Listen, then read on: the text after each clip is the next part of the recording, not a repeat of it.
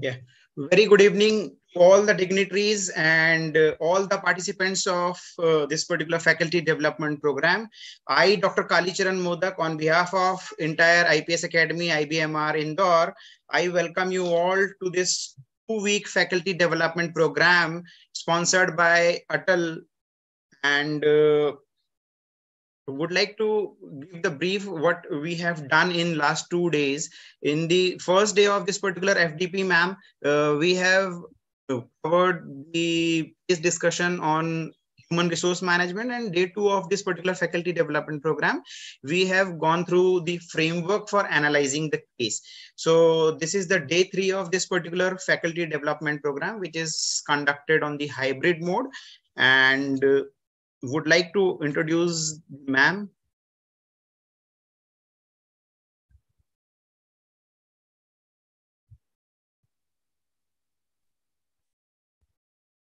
Yeah. Dr. Smriti Verma ma'am is the Vice President Academia Mastersoft ERP Solutions. She is a passionate teacher, an avid researcher, and a practitioner. She is having over two decades of teaching experience in institute like IMT, Nagpur, Symbiosis University of Applied Sciences, Hindustan University, Chennai, IIMR, associated with several institute as adjunct faculty.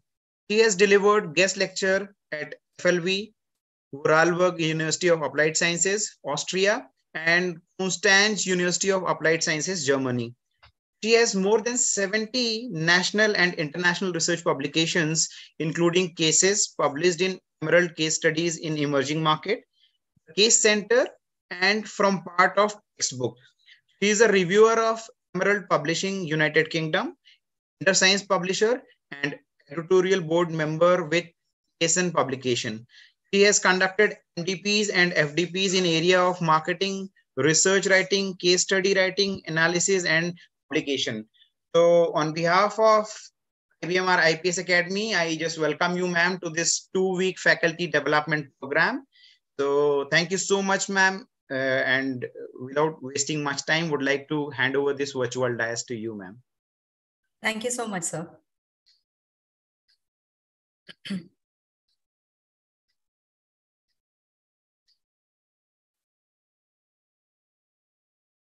Uh, I hope my screen is visible. Yes, ma'am. Right. Okay, um, so without much ado, I will take over by talking you, to you today about case writing. So I understand that you've already done um, some work on case analysis. So today I'll take it forward and help you understand uh, the nitty gritties of case writing. Um, please don't uh, hesitate in interrupting me in between in case if you have any questions. Uh, I'll be more than happy to answer them. And uh, I, I just hope that this session is as interactive as possible. Um, so the agenda that I will be, um, uh, you know, conducting will be, uh, there are two sessions that I've been told to conduct. So I'll be talking about case cases, uh, case writing, essentials of cases and sources of case information. Um, after that, we'll have a brief break. Uh, and then I will come to more rudiments of case writing, essentials of case structure. I will also be telling you how to perform or write a teaching note. And if time permits, we will also do a discussion on publications. Um, we will also have an open session uh, between 9 and 9.30. And uh, I'll be happy to address any queries that you have. So um, I'm sure uh, you know you must have gone through this several times, but just just because um, know, I want to take it up my way, so I thought I must discuss with you on why uh, you know cases came into being. Now, if you actually look at the history of case writing, uh, case studies, basically, uh, this whole concept started somewhere around in 1920s. Um, so that's the time when actually case studies became very popular. And of course, today when we look at it, Case studies are not just used for academic purposes, but case studies is something that uh, essentially forms a part of corporates also. For example, the current corporate that I work for, I do essentially write um, effective case studies for them, wherein we try and demonstrate our best practices or we demonstrate our um, test cases So this is another reason why case studies have become extremely important and essential. And uh, both academicians and people from the corporate can utilize uh, this session uh, in order to be able to articulate uh, case studies. Yes, of course, my session is going to be more focused towards academicians because I've been told that most of the people who are participating are from the academic uh, fraternity. And I would es essentially like to um, you know, focus my presentations towards uh, uh, this, um, you know, um, August gathering. so a case study basically is something which is essential for students because um, it is a simulation of real situations. Um, more so, when we talk about a situation, a situation is formulated by the people who are forming a part of the situation. So a case study basically represents the reality. It tells you who were the participants, what role did the participants play in a particular situation? And then probably you know uh, you take it forward into different formats which i'll be talking about later. But a case study largely will talk about a situation and the participants of that situation. Uh, the case studies could be um, revolving around single individuals or sometimes organizations. And sometimes there are case studies um, which are addressing a complete nation or a complete world. Uh, so when um, you know I uh, do sessions of international marketing uh, with my students at uh, University of Vorarlberg or uh, Konstanz University, there I essentially use case studies which are related to world, which are related to global um, uh, parameters, or sometimes you know specific to a particular country. For example, now, if we look at what is the most prospective market uh, market currently from the marketing perspective, so I talk more about marketing because that's my area of specialization. Um, and uh, so we look at sub-Saharan African countries to be the most prospective market. They're the frontier countries. So uh, we give them case studies or we discuss case studies on these specific countries of sub-Saharan African region. Um, case studies will be a reflection of the real world. So definitely um, you must completely understand the fact that case studies will reflect reality. It is not something that you can create out of your own imagination. You cannot talk about um, misconceptions. There is a reality that has to be going in. And of course, when we talk about reality, reality is complex. And that's the reason why writing case studies is a complex activity because you have to kind of understand what kind of a direction do you want to give to the case study. Um, for students, uh, uh, definitely the objective of writing case studies or, um, you know, objective of basically a case study is retrieving knowledge. Uh, this also gets me to talk about this, that every case study should have certain piece of knowledge that you can derive of the case study.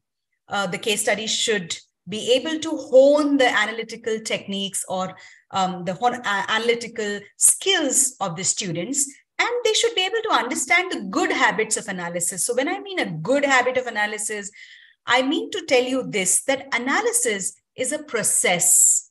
Analysis is not an achievement. Analysis is the path that you pass. And the good habits of analysis will help students understand, um, or when you solve a case study um, with the students uh, and help them analyze it, you should be able to take them through the process of what is the right step of analysis. There are so many times that decisions you know um, today when we look around us uh, you look at the newspapers and every other company is having certain goof ups. Why does it happen? Because you are trying to make hasty decisions. You are making decisions which have not taken the complete path of analysis. So when the students are in the shoes of the managers when they get uh, certain portfolios to take care of um, we should be able to you know kind of reiterate the fact to them that um, you know uh, you cannot just make decisions like this. There is a process of analysis that you have to pass through. And this is where students have to be um, taught or um, you know kind of uh, this is a habit that the students need to inculcate uh, in terms of doing an analysis. Uh, every manager has a constitution of his or her own. So there are certain personality types of a manager. Case studies also help you understand the manager's perspective. And that's one of the reasons why when you write, uh, write case studies, you could probably also be, um, you know, talking about uh, things like the personality or the background of the manager, which helps students understand that why he or she has such kind of a perspective. And of course, uh, case studies are a personal development for both faculties as well as the students. Students learn the uh, skill of uh, um, decision making and uh, faculties learn the skill of being able to enhance their publication skills. Uh, students are also able to derive insights. So when we are in classes, uh, practically it is not possible to teach everything as theory. Theory sometimes seems to be boring also, uh, but then when you want to create excitement, when you want to create uh, so in marketing, we keep talking about customer involvement, and in classrooms we talk about student involvement. Today, when we look at uh, um, you know the World Bank talking about uh, additions to education sector that should happen, so one of the most important thing that they talk about is student involvement, and case studies play a very important role there because it helps the students derive the concepts themselves. It helps the students come to conclusions helps them to understand if I go this way, where will I reach? If I go the other way, which way uh, will I reach? And, you know, probably there may not be anything that's right or wrong, but the destinations may change. So, which way are you going? Um, and deriving the theory sometimes plays a very important role in the development of the students. Uh, it also helps them understand that, okay, this is a real problem, this is a corporate, and this is the solution to real problems. Now, when I talk about this real problem and corporate context, what do I mean to say?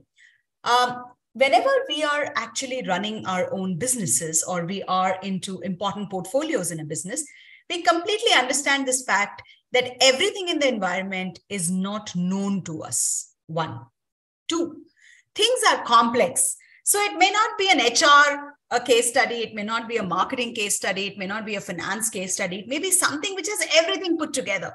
So there's an accounting guy who's having trouble with the HR guy, and the HR guy sees that uh, there's this marketing um, guy who's not performing well and he's not able to capture the market. Revenues are not coming in because revenues are not coming in. This accountant is not able to do his job perfectly, and so on and so forth. There's a lot of nitty gritties uh, which are inbuilt in the situation. So, one, uh, environmental analysis is not clear. Two, the problems may involve multiple functional areas. Three, you may be required to make decisions in particular time frame. So we don't have all the time in the world to make decisions when we are in business. We definitely have to make hasty decisions.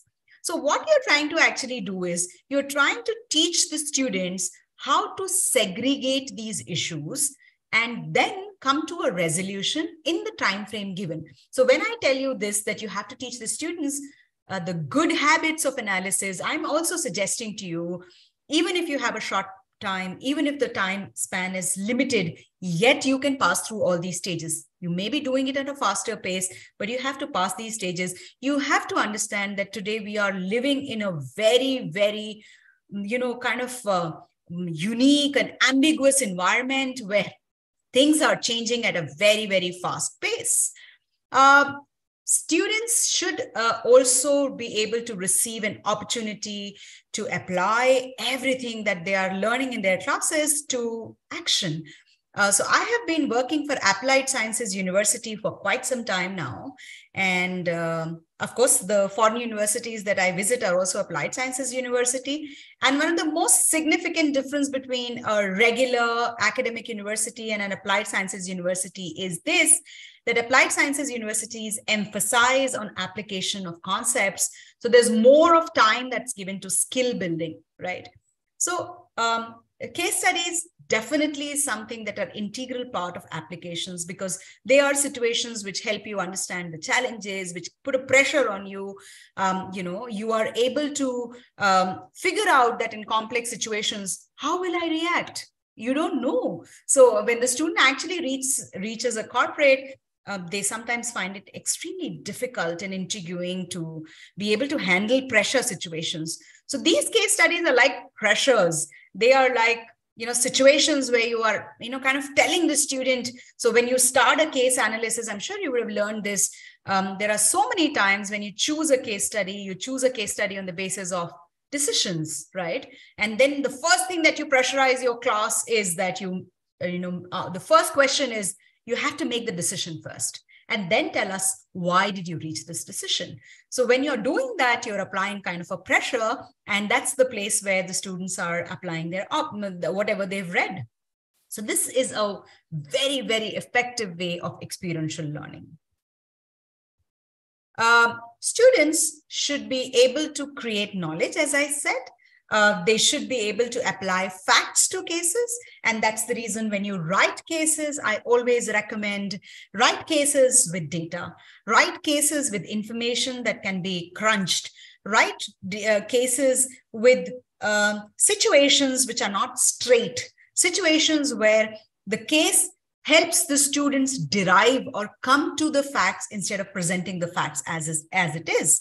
Um, because when you present them a situation and don't present them a fact, they are able to think.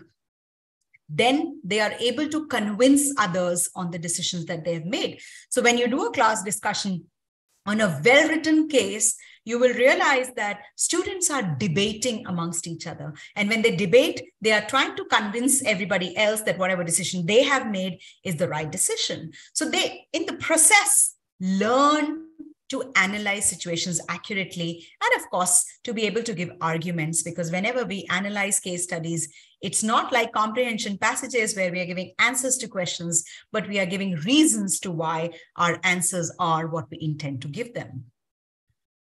Um, so um, you know uh, of course cases will never be linear structures, right? So when I say linear structures and they are absolutely non-linear, um, they are they are non-linear. The idea why I'm telling you this is there necessarily does not have to be a logical sequence to what you're writing. Okay. So when you sequence the case studies, when you write the case studies, you may be sequencing them according to chronological order. You may be sequencing them according to the thought process of the manager. You may be sequencing them according to how situation went from one place to the other, but it may not be necessarily logical, which means that case studies provide students an opportunity to read between the lines. And that's what we always tell them. The moment we give them a case study, we always emphasize read between the lines, lead between the lines. So, what is it? It is basically this that we have given you a content you probably have to create a linear structure of facts. Okay. Now, again, don't get me wrong when I say you create the case study non-linear. I'm saying that the facts should be non-linear, but when you create the case study, it should be like a story. So it could be as a sequence, um, as a chronological sequence, or as a sequence when um, you know you are talking about uh, the manager or you're talking about the CEO or whosoever is the protagonist of the case. Um, whereas it could also be the explanation of the situation, what happened from when to when. So that's a linear structure that we create in terms of writing the case study. But when it comes to analysis, the analysis is not a linear structure, and there's definitely a gap in the understanding. Um, so uh, when I say a gap, I also uh, mean to indicate that there is some amount of inferential information, information that is not presented as it is, but it has to be inferred. For example, I want the students to calculate, um, say, profits before tax or profits after tax, or I want I am do, I'm doing an analysis where I'm trying to analyze um, what is the pitch that advertising agencies have made for my um, product promotion or communication and I, I, really want to evaluate it out. So there is one uh, agency who's given um, the pitch in the format of market expansion um, and then uh, you know sales. There's somebody else who talks about profits and uh, sales. There is somebody else who talks about new customers existing customers and then they talk about how this pitch is going to help both the existing and the um, you know new customers. So everybody has given a different format. Now i write it as it is but then I expect the student to be able to infer information. So get all these pitches on a common ground, right? So probably on the basis of target market or on the basis of total profits or on the basis of, um, you know, um, uh, in, in, the, in, the, in the format of new market uh, expansion. So whatever is the basis on which you would like to do it, you can do it. Students have different options to go ahead with that. But then this information is scattered, one. Two, the information is such which is not presented as such just like facts. So it's more of something that you infer out of it. Uh, the uh, when you write the case studies, uh, again, when we say you write it as a story or you write it as a you know um, sequence of events, the idea is uh, I'm not illogical, right? So there is some logic behind writing the case studies, but yes, uh, there is a possibility that the student gets confused. Normally, the students get confused when the case studies are extremely, extremely long. But then uh, uh, the idea behind it is uh, to help them keep going back to the case study facts and putting it together, summarizing it, creating a mind map out of it. That's extremely essential when you do the case analysis. Create, tell the students to make a mind map. Tell the students to create a mind map, even if it's a brief caselet because when you create a mind map, you are putting information um, in a particular logical sequence. And that is what is leading to perfect decision making. And that's exactly what I talk about when I say good habits of analysis. Um, case studies are definitely, you know, kind of opposite to synergy. So they are a whole that is less than the sum of its parts, right? So what do I mean is a student should be able to segregate information that he will essentially be using for decisions and not be using for uh, um, you know decisions. Sometimes when we give backgrounds about the company or background about the person or you know sometimes some other information it may not necessarily be relevant for decision making one. Two. Multiple case studies um, are created uh, which are organization based and they can be utilized in multiple functional areas. So when you're doing the analysis from a marketing perspective or maybe um, you know a, a, marketing communication perspective um, it may not essentially be incorporating um, the, the, aspects of branding. It may not essentially be incorporating uh, the aspects of sales management but somebody else is trying to analyze it and use it for a sales class um, you know, you may try and ignore marketing communication. You just, just say, this is just the contribution of marketing communication, but I'm not going into the history of the whole thing, which means that a case study can offer you one avenues for um, analyzing the case study from different perspectives, and two, um, the student an idea of how to segregate between information that is essentially required and information that can be skipped on. Uh, this is exactly what happens in real real time situations. We are in today's time overloaded with information.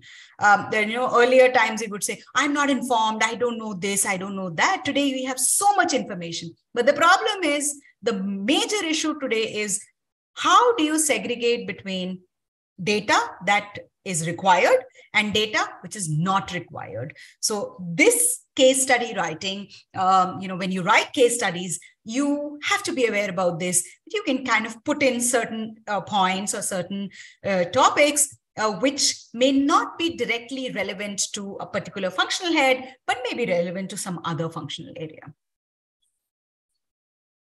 So um, a case writing is something which is replete with facts uh, essentially information, uh, which can be derived um, uh, to be able to assist effective decision making and not essentially shaped into a single truth, which means that there should not be essentially one right answer. It could be a suggestive thing, which we normally write as a teaching note, or maybe um, you know follow it up with a part B case, but then uh, case studies are not meant for um, coming to a right answer or a wrong answer.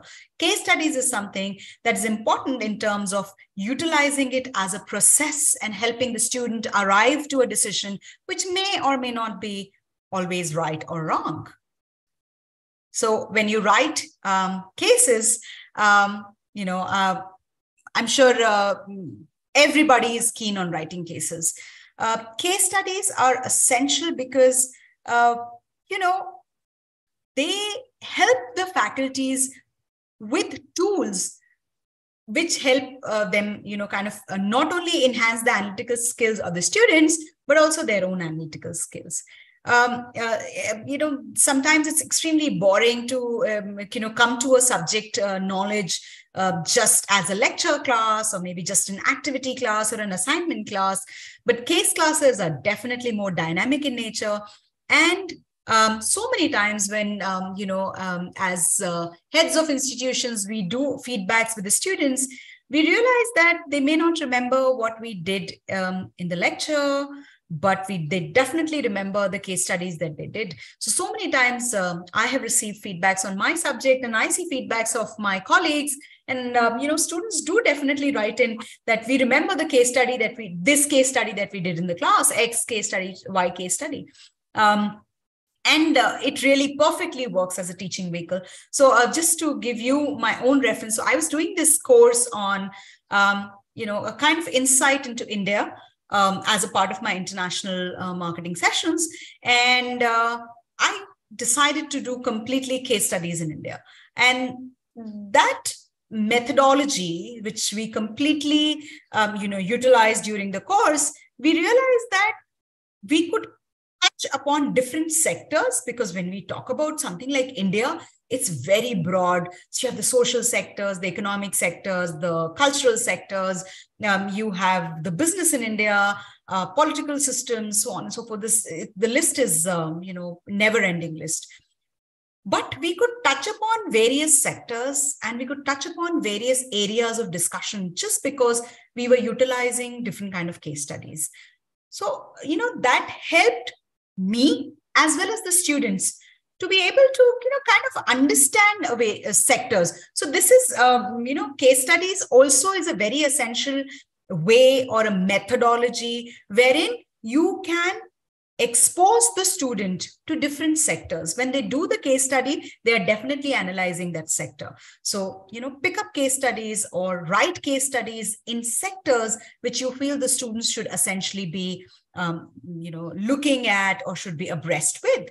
Um, for teachers definitely um, uh, you know this happened with me also because in the very beginning of my career i did not have uh, too much of corporate experience. So i was a fresh uh, postgraduate and i went into teaching. I used to find it difficult to be able to bridge the gap between teaching concepts and corporates. So when i st- uh, started doing case writing that also helped me get insights into what is happening in the corporate. So, whenever we would go for a research based case study, when we will enter into corporates, we will understand what is it that they are doing and then, you know, kind of replicate the same thing in your teaching. So, case writing definitely assists you in excelling your own lectures right so do case writing for do for that um, now uh, i have a very small um, um, uh, survey that I want to do with you.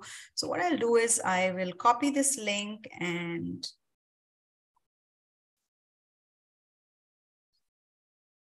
paste it for you.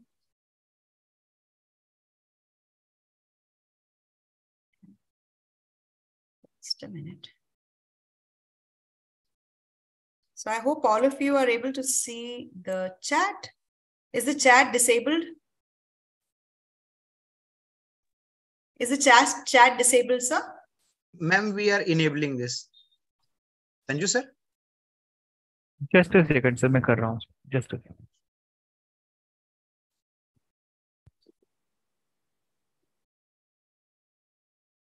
It is on now. Okay. Mm, no. No. Okay. Yep. Yes, sir. So uh, this is a Mentimeter survey, and uh, I would really appreciate if you could answer this survey so that we are able to understand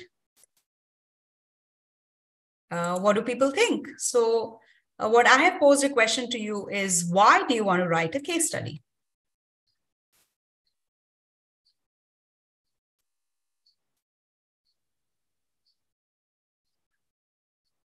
Are you able to reach that uh, uh, page? No, ma'am. No, ma'am. Uh, it is showing me access denied. Uh, ma'am, I'm able to, like, I'm on that page where it is asking, why do you want to write a case? Good. Yes, ma'am. Same. It's active.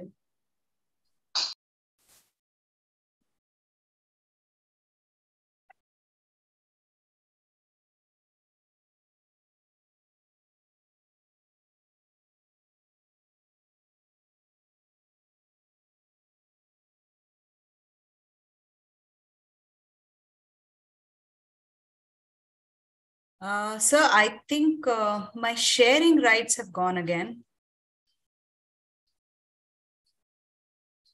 No, ma'am, you are the It is on. co-host. It is on. Yes. Okay.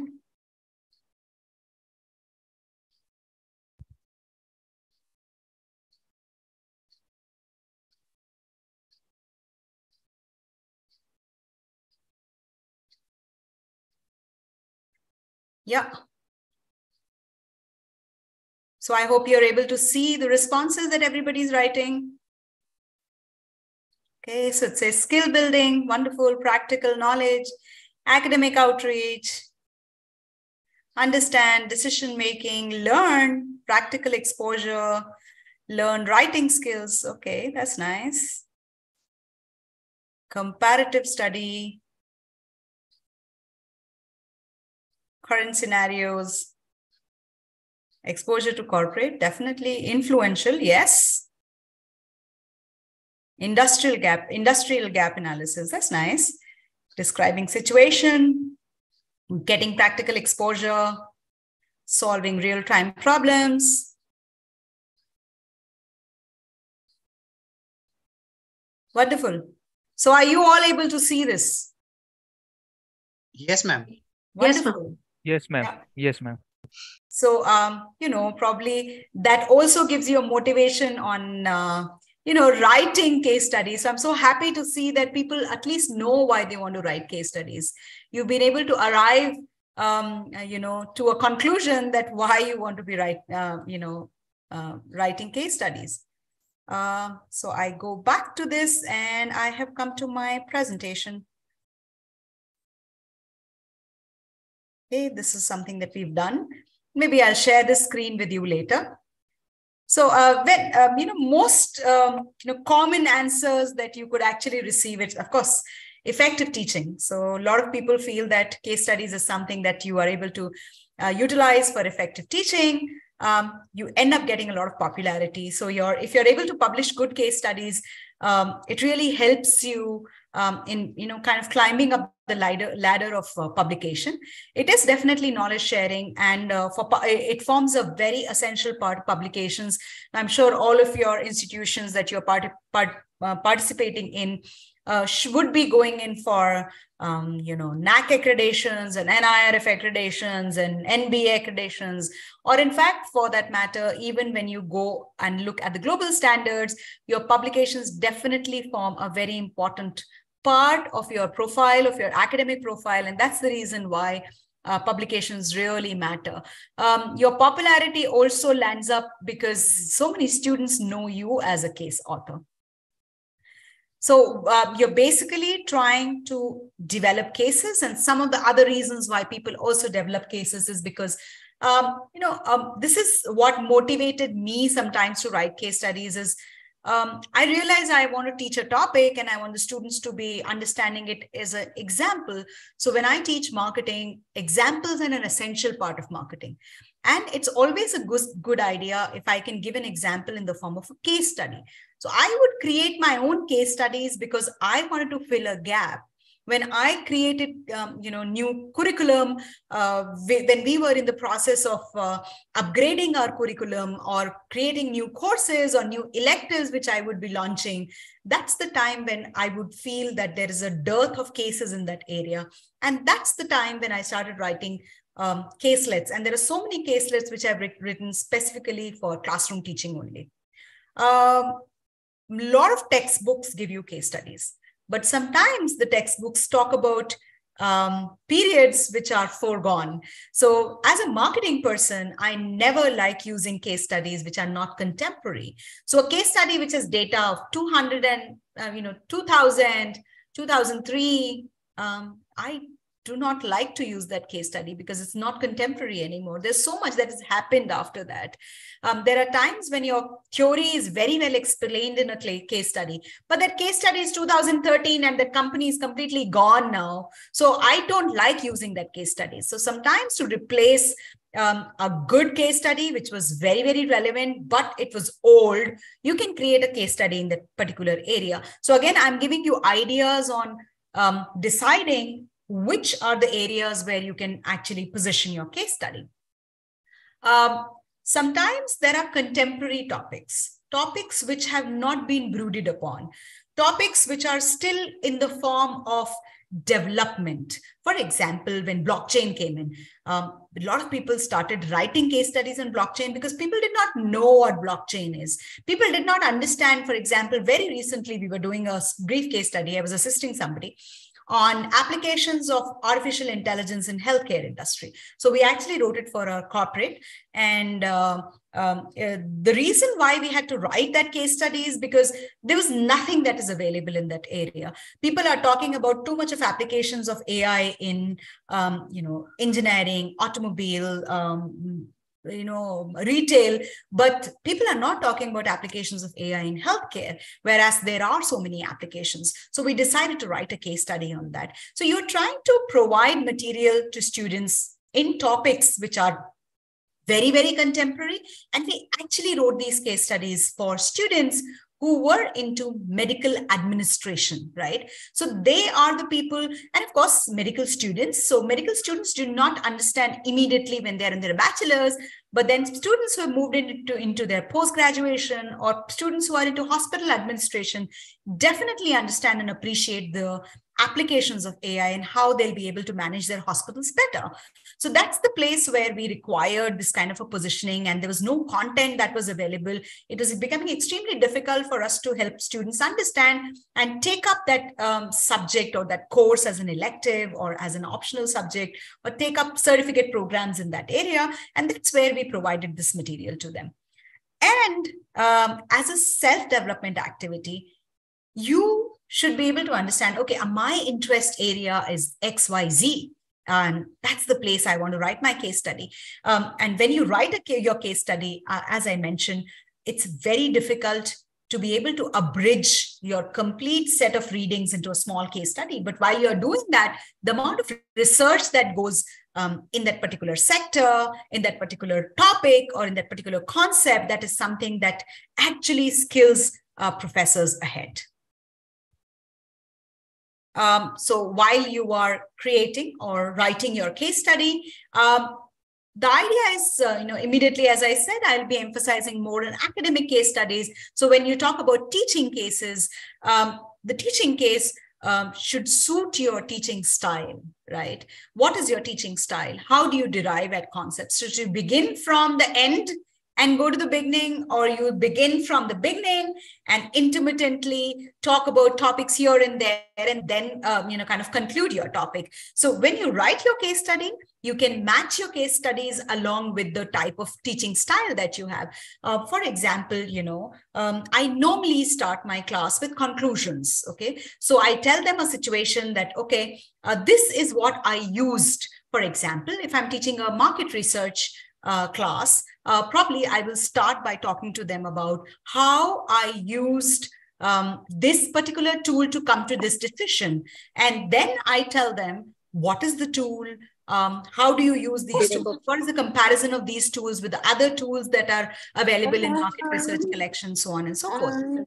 Um, somebody has a question? Or is this just by chance? I'm sorry?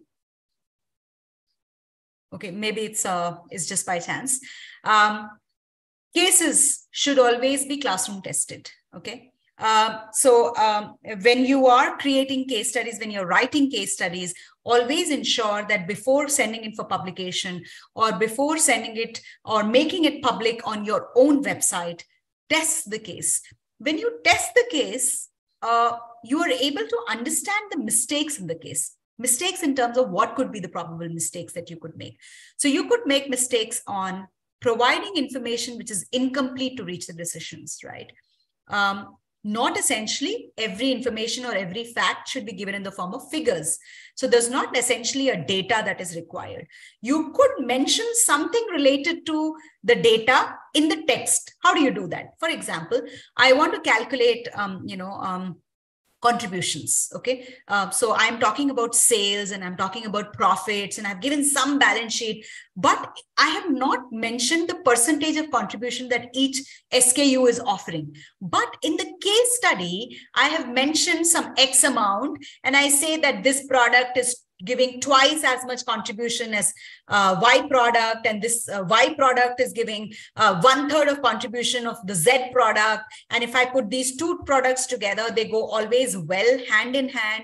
So there is something which is cross selling that is happening there. So you've given that in the text. And what you're trying to do is you're trying to, um, you know, kind of um, stimulate the students to put these two things together. So there's something which is given in the text, and there is something which is given in the data and you're trying to make them um, put this all thing together. But when you test the case, you realize that that X amount was an X amount. You didn't give a figure to that. So it is becoming very difficult for the students to interpret how should, do, should, should they put that as calculation. So you should know that that X amount has to be written as um, a 10% or a 15%, whatever way that you want to be writing it, or you want to give it in uh, INR or you want to give it in some other format, whatever currency that denomination that you're using, you should be able to talk about that, right? So when you test the case, you are able to find out missing data. You are able to find out whether the students are able to reach the same conclusions which you are intending them to read. You will be able to find out that this case study can be utilized in which, which, which area. And of course, the most essential thing is it will help you improve your teaching note, which is sometimes um, in fact, now it has become essential for publication. Most publications today will not accept your case study for publication without a teaching note.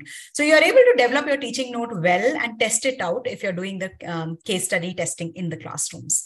Um, objectivity in terms of um, unbiased decisions right? So so many times we also talk about the backgrounds of the fa- uh, of the companies. We talk about uh, for example um, you know we were discussing a case on patanjali uh, in my one of my classes. And suddenly i never thought that this topic will come up but then there was a lot of uh, political um, issues, and there was a lot of talk about uh, Ramdev Baba and uh, his background and so on and so forth, which I never thought that will come to the class um, with respect to the case study that we were discussing, but that happened. So when we um, get into that kind of class discussions, we are able to understand whether the case is objectively taken or not. And if it is not, what are the things that you should be writing in the case study so that it makes the case study more objective for example we realize that we should have mentioned this how uh, what is the contribution of brand ramdev baba on the brand patanjali and vice versa? Uh, is he the only reason why this brand exists? What is his contribution to other brands?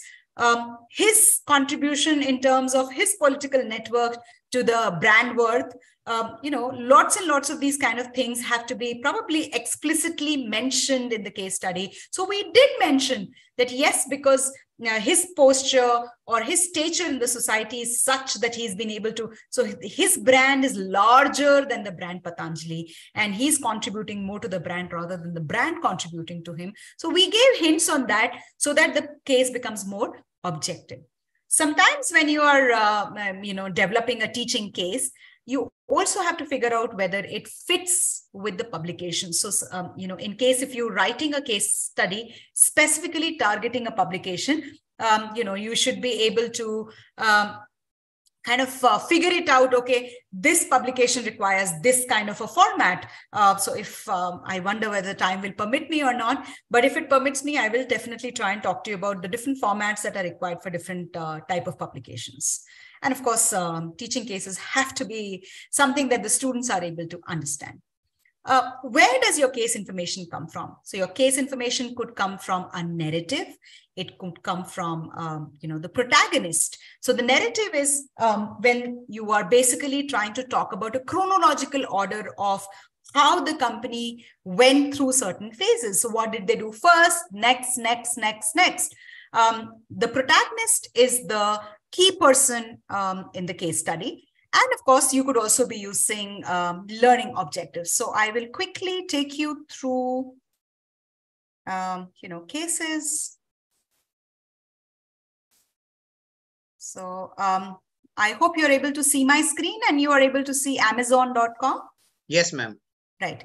Uh, so this is basically um, a narrative case where uh, the focus is on the brand and this basic this case study basically talks about what happened to um, the uh, business. So they have spoken about what happened to the business um, in between 1997 and 1999. So that's a narrative, again, a story. This is what happened with the company. This is what all they did. And then between 2000 to 2003, what did they do? And then um, it keeps going on to talk about what happened later in 2005 and then how did they enter different markets uh, they used digital media and then they entered the um, um, you know different countries so they decided to move into china they decided to move into india and they also launched different new categories so this is an example of a narrative case Whereas this case, which is about Juhi Warrior, this is again, Juhi Warrior is who is, she's the protagonist. Okay. So this case study talks about the protagonist, the lady, um, uh, you know, um, around whom the case has, the story has been built up, right? Um, so we, she, the case begins with talking about who Juhi Warrior is. So, you know, she's an HR leader and then about um, her her journey in uh, in the corporate uh, what happened to her and then what was she doing currently um, what are the roles and responsibilities that she had and then how she improvised the roles and responsibilities and then of course how she landed into um, a particular situation where she was kind of thinking what is the next thing that she need to be, needs to be doing? Uh, so this is an example of um, uh, a, a, case study which is based on um, a narrative, right? Uh, of course, when I talk about teaching and learning objectives, I'll take you through certain teaching and learning objectives, and we will look at uh, what kind of cases are there. So now uh, I'm going to be talking about the different types of cases, but um, uh, this is something that I do for your understanding. Essentially, when we send it for publication or when we use it in the classrooms, um, it it's not necessarily that you have to classify it like that. One, two. Uh, when we talk about the LO base, uh, so LO, uh, you know, is related to. I'll, I'll also talk about the Bloom's taxonomy and how you can decide which case will go where. Another uh, thing is when you write the case, uh, sometimes uh, long. There are the cases are extremely, extremely long and you don't want to be utilizing those long cases, in that case, you can also split the case and say, okay, today I'm doing a particular topic which is just awareness related. So I'm just creating knowledge or awareness of the concept. So I'm going to do an iceberg case, right? So an iceberg case, basically a case study wherein you are just trying to talk about a conceptual model. For example, when I teach um, Porter's model of competition, I use an iceberg case and I, I, I tell them that, okay, um, um, I'm going to launch, um, say, um, vegetarian pasta, okay, vegan pasta, okay. Uh, so I'm going to launch vegan pasta. And uh, for that, I need to be understanding uh, what is going to be my uh, my competitive scenario and that's where the students are trying to apply or use the Porter's model of competition and create uh, the competitive scenario. So I, when I give the case study, I basically just give them a basic concept and I say, okay, this is what I'm going to be doing. Um, and I'm stuck into understanding that uh, how should I differentiate my product? And of course, when you're talking about differentiation of the product, you have to be essentially doing a competitive analysis. So this is where an iceberg case would come into play, completely, completely based on conceptual models, right? The other is when you're talking about incident cases. So incident cases are primarily cases which are um, you know related to a particular time and place right? So this thing happened at this this kind of place. So um, yes you are talking about the context. You're talking about the context in terms of the context of the corporate or context of the person or context of what has happened earlier with him or her. But then um, you know uh, you uh, um, are uh, uh just um, circumscribing or you're just kind of emphasizing the incident that happened. Um, this is an example of an incident case where you're just saying that there's a person, there's a worker who died, and um, this was the height of the scaffold, al- aluminium scaffold, and these people got hurt. Um, this was the voltage. So, this is basically a production unit where you are trying to teach your safety managers or your um, production managers uh, to help them understand what is it that they should be taking care of. And if there is an incident like this that has happened, how do you identify um, safety points? Or how do you rectify a situation wherein this kind of a, this kind of an incident does not repeat? So you have to understand what are the areas that you have to be evaluating. So this is completely incident incidental in nature. So this is an incident case where you are trying to help students analyze information put together the information to arrive at a situation wherein the incident probably has happened. Then we have illustrative cases. So, what are illustrative cases? Illustrative cases are cases which basically probably, you know, um, uh, uh, it's more of best practices case. So, there's some company who did XYZ and they were extremely successful. There's another company which did xyz and they were complete failure so what you're trying to do is an illustrative case you are trying to help the students understand this is what you did and they were successful in this situation. And this this this what you did they were not so successful. So basically you are trying to tell them best practices. It's a very good idea to tell the students best practices.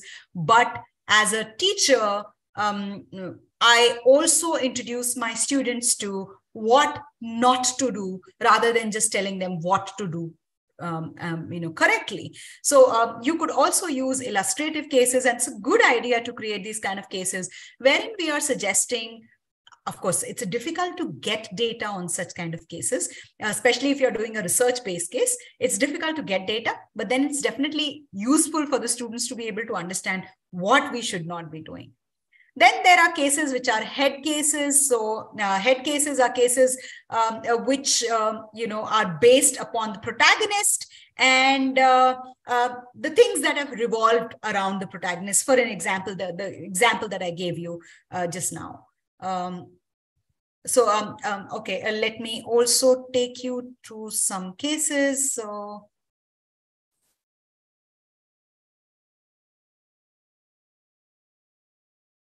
So this is a case of illustrative uh, case studies, wherein this is a case study based on a company called Canada Goose.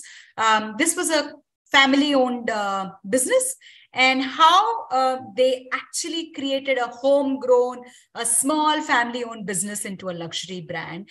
And this is a complete, um, um you know, kind of uh, illustration or, um, uh, you know, um, uh, understanding of how a family enterprise can be created into becoming a global brand, uh, something that is known uh, today as um, um, a kind of a must have for people who are um, enduring severe winters. And then this is a case on this is a head case. So this this lady called Mia Foster. This is a case study on Legendary Cafe um, um, a, a, case where uh, the complete case study is designed or created or written, um, keeping Mia Foster in place. So what happened to Mia Foster? What was her background?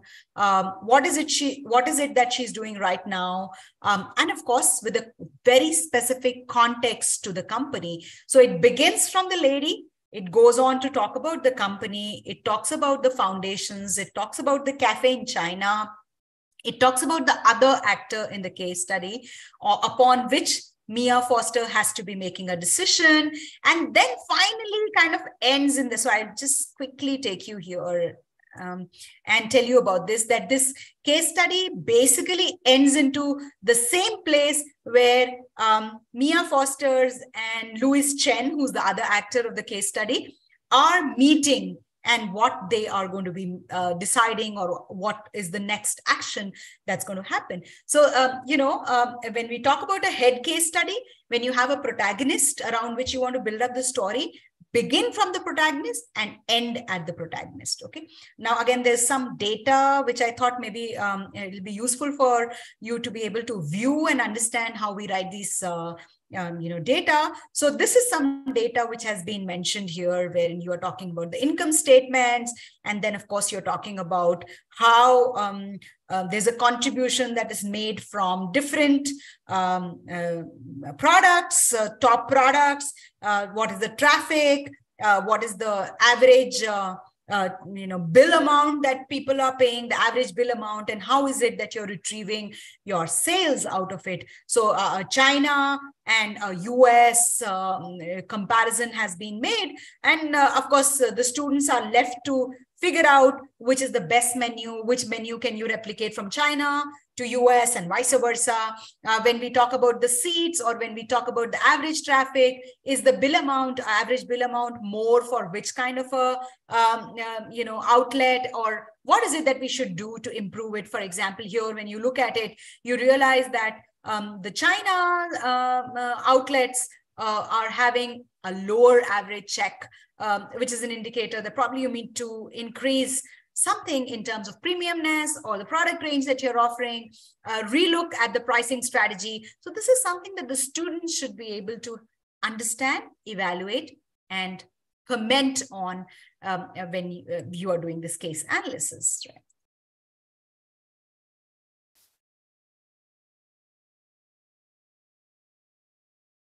Then comes what is a, uh, called a dialogue case.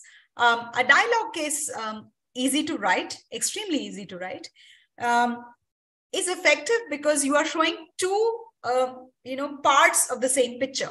So it's like, uh, you know, going, coming, going, coming, and these two individuals who are probably debating with each other um, on the common grounds or on two different grounds and you're trying to you know understand the perspective of both these people and then kind of surface out uh, the dynamics between that uh, or the consequences of their own decisions so on and so forth.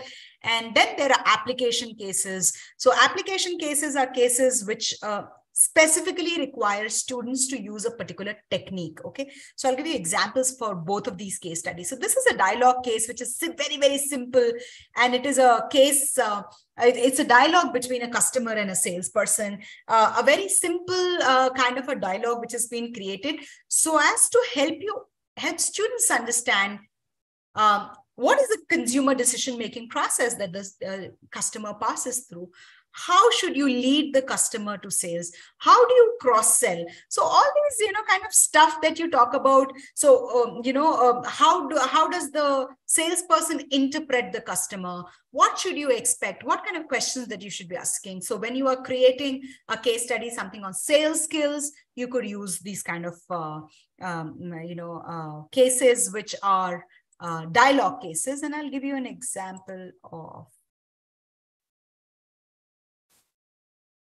So this is where you are using a particular concept. This is a case study on Ethiopia. And uh, the reason uh, why I'm saying a particular technique or a concept was required to be uh, done was there's a very specific, um, uh, you know, uh, identification of um, factors that require to be utilized. So there's a very clear mention of, so this is a case study which I had written. Um, this is uh, a very clear mention of um, what factors should the students be using? So there's infrastructure, there's HR, there's competition. And then there are four things that have been mentioned. So these are the four entry options that the customer, uh, that the company has. And you have to kind of evaluate um, your company. So there are three companies which have been mentioned. One is a medical company, one is a shoe company, and one is a consumer products company. And based upon your analysis of the environment, so you have to necessarily be doing a pestle analysis, and then you have to be evaluating the market on entry options by doing an sectoral analysis of the country. This is something where you require a complete technique to be utilized. And that is why um, you know uh, uh, this uh, kind of a case becomes quite interesting uh, for the students. Then we have cases which are database cases uh, where um, you know there is so much of information that has been provided. And a good way is um, to use it in situations where uh, or created in situations where you are asking the students to evaluate between alternatives. For example um, as i said you know market entry options. So Levin, um, ethiopia case.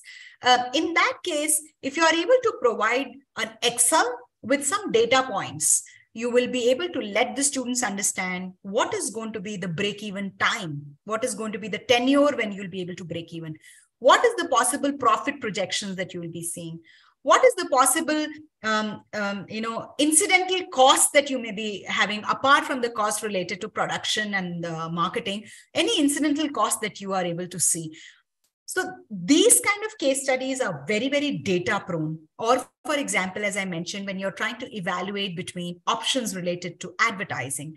So I'm trying to evaluate whether should I advertise, um, should I use billboards, should I use digital marketing, should I use um, you know, TV ads, so on and so forth. For everything, there is a reach, there is a frequency. Um, every media has um, a cost related to it. And I'm trying to figure out what is the least cost that I get per person or per contact, per, um, you know, reach. Uh, uh, what is the cost that I'm going to incur? Will I be able to uh, retrieve frequency? Will I be able to have a consistency of my media? So I'm trying to evaluate it using an Excel sheet. That's a data case. And the most, most popular interesting cases are problem solving cases. In fact, today, most of the times that we are using or writing case studies are problem solving case studies where we put we give them a background we put the students into a situation and we force them to implement actions um, then there are of course uh, uh, prediction or sequential uh, case studies. So this is basically, uh, you know, you've just given information and then you want the student to be able to understand behavior. So in terms of the unit or the person, as well as the performance.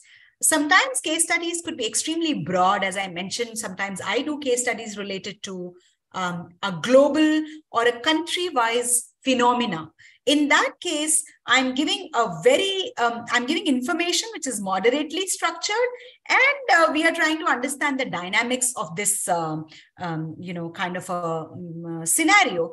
Uh, again i'll take you to through case studies uh, which will help you understand what kind of case study am i talking about so this is a case study um, on women entrepreneurs, which we uh, did, and uh, this basically is a is a story. So there's a story about a lady called Devi, and this is another story about the lady called Kumari. And the idea behind this was to help students understand uh, the structure of grassroots entrepreneurs. So how, especially uh, women grassroots entrepreneurs in India um, who are having severe, even more severe problems as compared to their male counterparts. Uh, what kind of issues do they face? And uh, how, uh, what kind of strategies do they use uh, to overcome this? So things like self-help groups, things like um, loans based upon policies uh, which have been provided by the government, um, uh, loans or, you know, uh, kind of the local um, uh, people who are able to provide money to them. How do they utilize the schemes given by the government? What is the role of the government? So on and so forth. So these two stories about these two women are basically uh, to kind of derive um, the structure that women entrepreneurs are actually enduring at this point of time in india the other one which i said is a kind of a phenomena is um, universal basic income. So universal basic income operates different ways in different countries. And uh, this case study, of course, also um, uh, is an example of or gives you an idea about what is happening in other countries. But largely it talks about the economic situation of our country, talks about um, what is the concept of universal basic income? Why is it required? What are the challenges if we apply this to our country? In what format and or, or in which phases should we apply it? And it leaves the case at a position where the students are uh, required to kind of think about whether this is really a concept that will be it will be possible to apply in india. Will it work in india and you know um, should you really think about using this kind of a concept in india Uh, so I kind of uh, would want you to quickly take a look at this Bloom's taxonomy.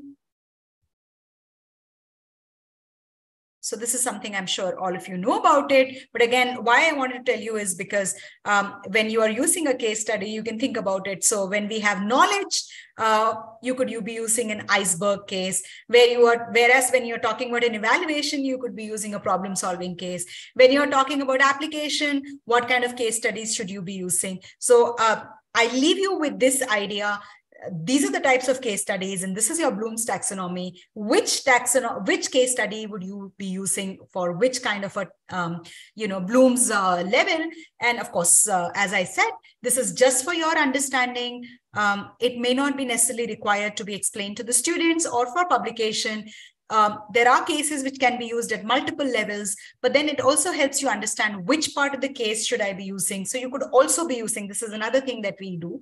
So many times I use a single case and I move the students through all the stages of Bloom's taxonomy. So I break the cases into parts.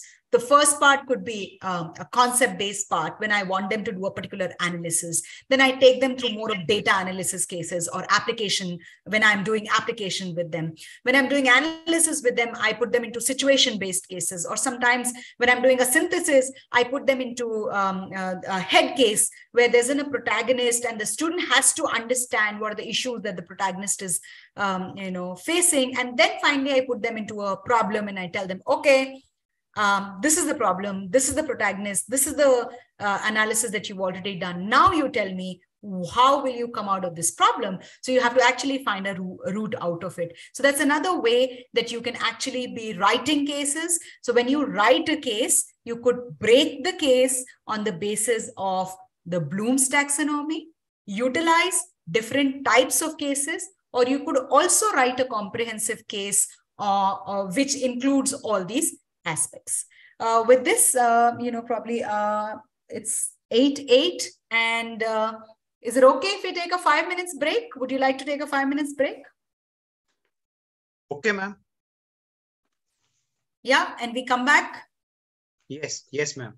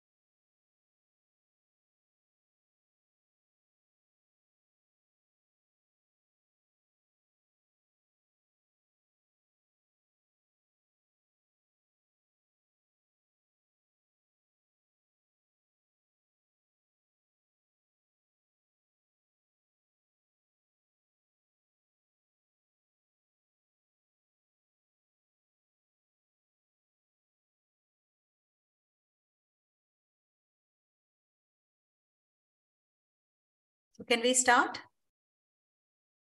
Yes, ma'am. Wonderful.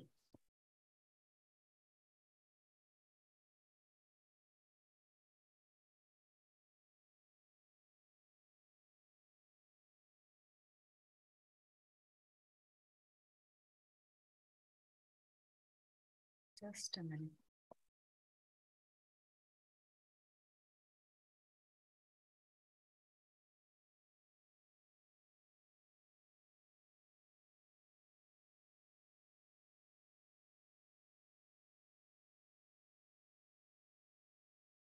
Okay, I hope my screen is visible and we can start. But before I start, uh, anybody has any questions? Uh, anything that you um, have in your mind that you would like to discuss? Uh, I'm open to your questions.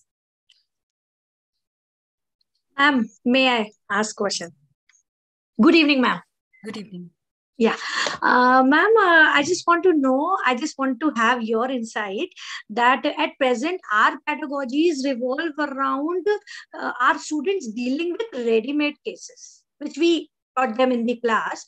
So I just want to know that how we can, you know, level up our students for making them, you know, how to brew the cases or how to write the cases by their own. Uh, okay. Uh, so one right now the idea is that once the faculty start writing their cases they know the technique. It's easier for you to let your students do it.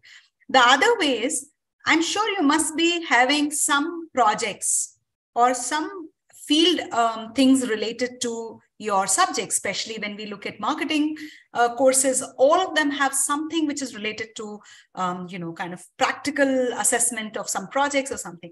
So what you can yeah. tell them to do is when they go for, say, surveys or when they go to a company, or for example, if you have industrial visits, you yes, can sir. ask them to, uh, you know, frame a case based upon their industrial visit. Right tell divide your class into groups and tell them. When you meet the finance guy ask him certain questions which will help you understand what are the best practices of the company. Um, this, there's one group that can you know look at what are the issues with the labor or what are the issues hr related issues. There is another group who could just uh, do a secondary research and try to find out what are the challenges that um, say the brand is facing or the marketing department is facing.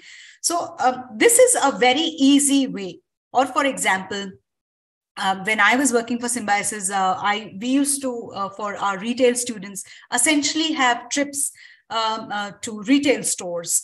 Uh, organized as well as unorganized retails uh, something like uh, a unique thing like exhibitions which is a very a unique format for small and medium enterprises to showcase their products so whenever we would send our students we would essentially ask them to write a case on any one store of that exhibition ask them certain questions and try and create a case study related to that. So these are small caselets. You can begin with yeah. uh, um, a half page or a one page for the students. They can actually work in groups and come up with the situation. They can come up with uh, maybe the a protagonist based case or a situation based case and tell them or you know simple questions. So research based cases or question based cases is something that the students will definitely be able to write and they will enjoy writing it so I, I, I guess uh, this can be uh, included as a part of their assignments or maybe Very research much. projects, which we are already having.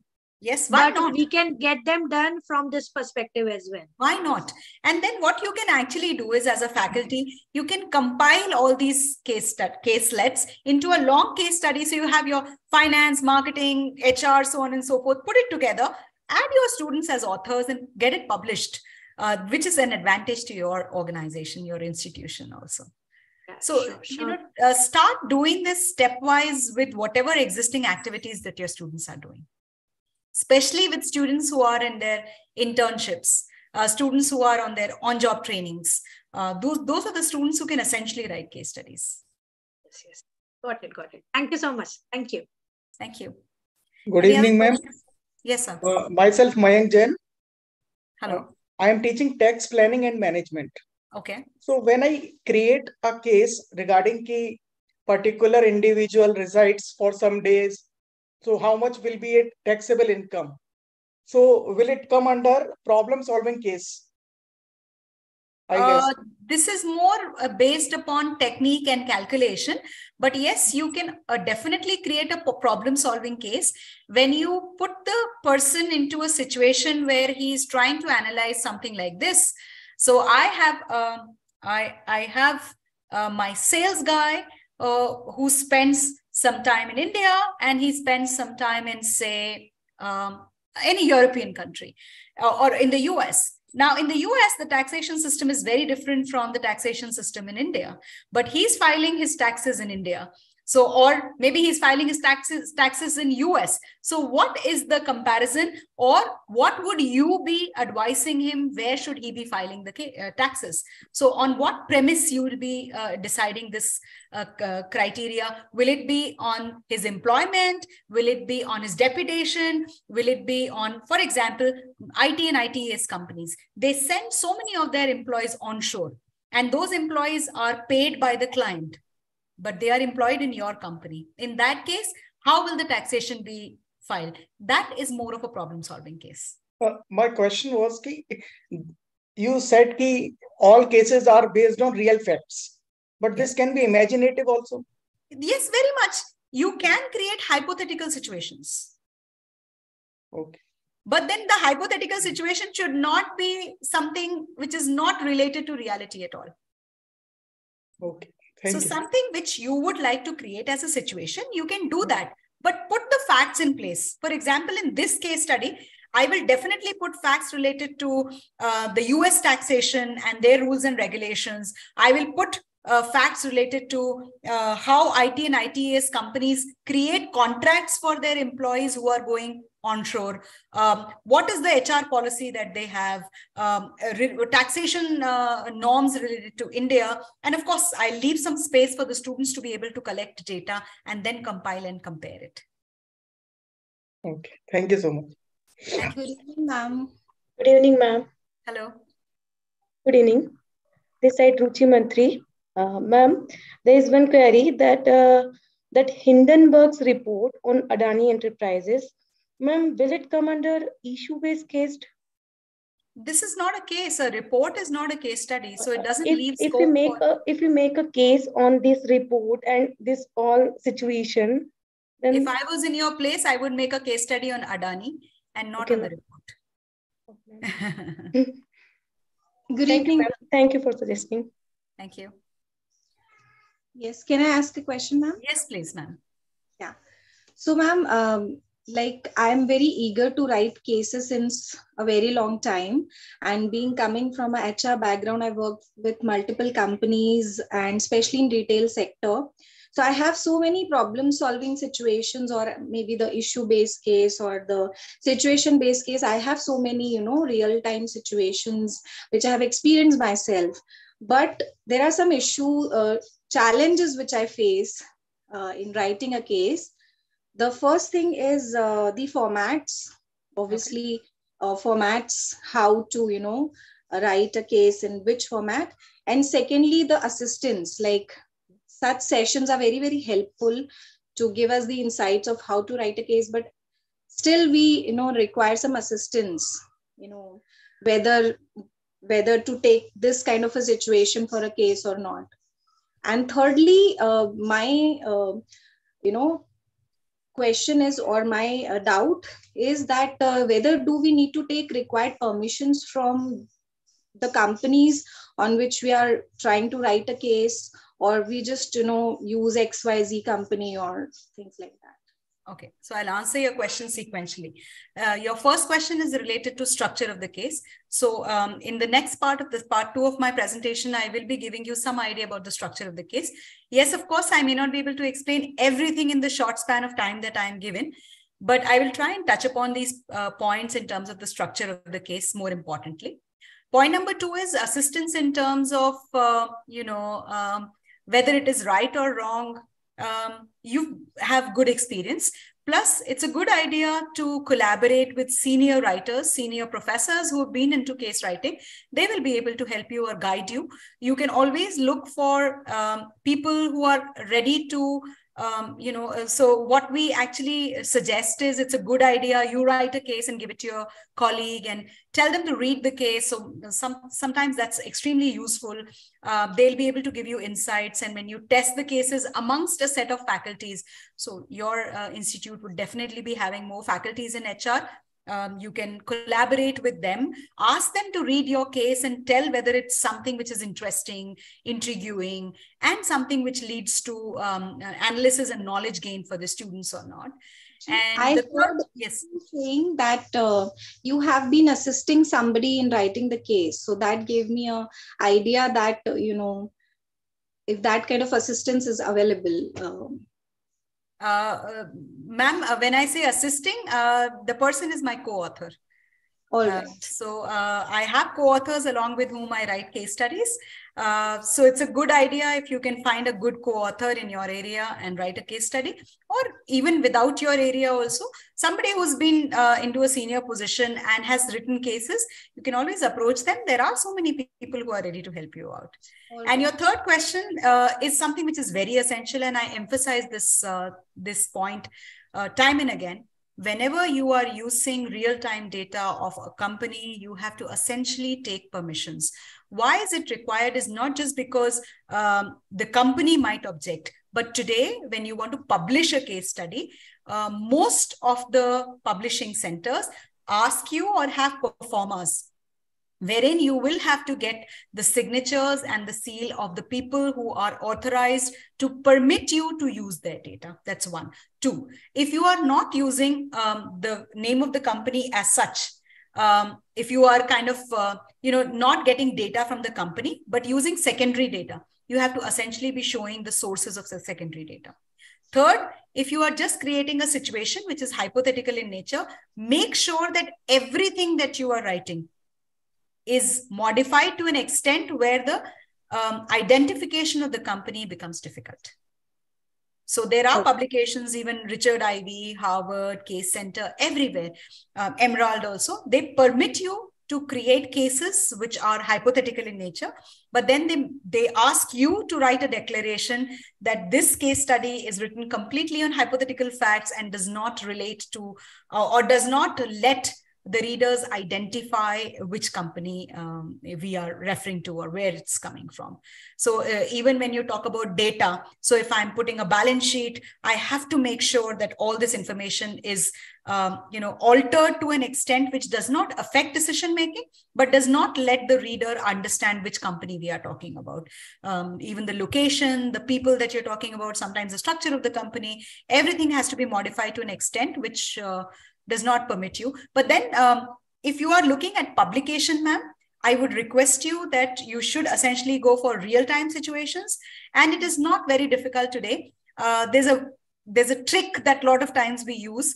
Um, the companies also leverage uh, from the case cases which are written by uh, you know academic uh, um, you know people like you and me uh, so they also leverage in terms of their brand so that's a reason which you can actually quote um, sometimes you know uh, for example i was collaborating with uh, one of my colleagues on uh, a case study which is on Goli Vada Pav. And uh, this guy was very happy because just because of the fact that he was getting a leverage on that. And we, uh, you know, kind of created also videos. So I was in the team where we were trying to create videos related to him. That adds value to the um, brand. And that is a reason why you can actually convince the company to let you permit information um, related to the company. Yes, they will essentially require a draft and only the draft that is approved by the company is something that you can submit for publication okay so we cannot even mention that a famous departmental store uh, something like that we can all that's okay. but the people the readers should not be able to essentially able to interpret which departmental store you're talking about. So in the case study you say one famous departmental store and these are the competitors. So obviously the name which is not mentioned in the competitor is the company that you're talking about. So it should not be like that. Sure. Thank you Good so evening, ma'am. good evening. Ma'am, this is Dr. Chavi Saxena. I just want to ask one question. Suppose there is a series of incidents occurring uh, about a company and the news is coming in uh, Times or something like that. And we are creating a narration out of it. It may be a Satyam scam. Presently, it is uh, Adani. and we are focusing on one issue maybe the hr maybe the financial or something like that and we put uh, the things uh, the times of india news uh, editions and the things in the bibliography part or reference part will it do will it be justifiable? I'm not copying the news as it is. I'm presenting it my in my own way as a case. I have written many cases but uh, can it be uh, interpreted in a format of case Yes, ma'am, it can definitely be interpreted. Uh, the only thing is that you will be required to mention exactly as you said as references or bibliography. Don't mention it as bi bibliography, mention it as references wherever you picked up data from whichever source that you're talking about. Uh, and but again, uh, you'll have to kind of figure out where. So are you looking at publication or class usage? No, no, it, I'm looking for a publication if you're looking at a publication, not everybody will publish these kind of cases. For example, Emerald uh, does not prefer to publish cases which are completely based on secondary data. They prefer to publish cases on which are completely based on primary data. But a 80 case study or a case center, you should be able to publish these kind of case studies. So again, uh, uh, probably you'll have to match your case study with the type of publication which is ready to accept this kind of a case study. But definitely this forms a case. Okay. And you can Thank do you. that. Thank you. Uh, Shiju Shukla has raised his hand. Uh, is a question? I'm sorry, Shiji Shukla. That's fine. Yes, ma'am, Shiji Shukla. Yeah. Um, um, I have I've been into this FDP for the last three days. I need to understand one thing, which kind of you know makes me concerned a bit because uh, for the last two cases that I've been collaborated with, we usually go into domains like marketing, HR, uh, or even analytics and IT for that matters. Whenever I try and target an, a case of finance, say for an example, into financial management or so, somehow while building the case or while attempting a case uh, in the classroom also, we know the end results, what, uh, uh what entails. So uh, uh, at the end of the day, somehow I feel that these cases are not doing justice to what we exactly want to do with the case. So how to deal with such cases where, wherein the data plays a very crucial role and we know what end results or what discussions would lead to finally. Because in cases of HR marketing, there are multiple end solutions that students come up with, which gives a scope of discussion, brainstorming, and everything in the class. But with finance thing, it becomes very, I don't know, kind of boring, if I can say, because we know what exactly the student will come up with. Right. So there is nothing, nothing to brainstorm as in such in that. So how to create a very effective case in finance or financial administration, or for that matter, in financial management? Uh, so of course you're talking about a very difficult area it's difficult to write cases in finance because most companies decide not to uh, disclose their uh, financial data. So getting real-time data is definitely a challenge in the area of finance. And probably that's the reason why uh, very good cases are difficult to find in the uh, area of finance. Um, what you could actually do is you could pick up a corporate case, which is institutional in mm. nature, or maybe even a marketing case, and then talk about um, the data or the finance oh. part of it. For example, I just mentioned to you about an example of the Leventry case, uh, cafe case study, where it is completely a calculation in terms of the accounting uh, factors, or maybe something where I say that you can understand or figure out the Ethiopia case where they could actually do when will the break, break even analysis happen, or um, you know what are the units that you should be doing, uh, how should be utilizing your supplies. So I'm I agree with you when you say that um, cases related to maybe accounts or maybe related to final uh, final accounts or balance sheets and all. They are very conclusive in nature because they are more calculative right? Exactly uh, yeah. but then uh, those areas which you know kind of provide you a scope for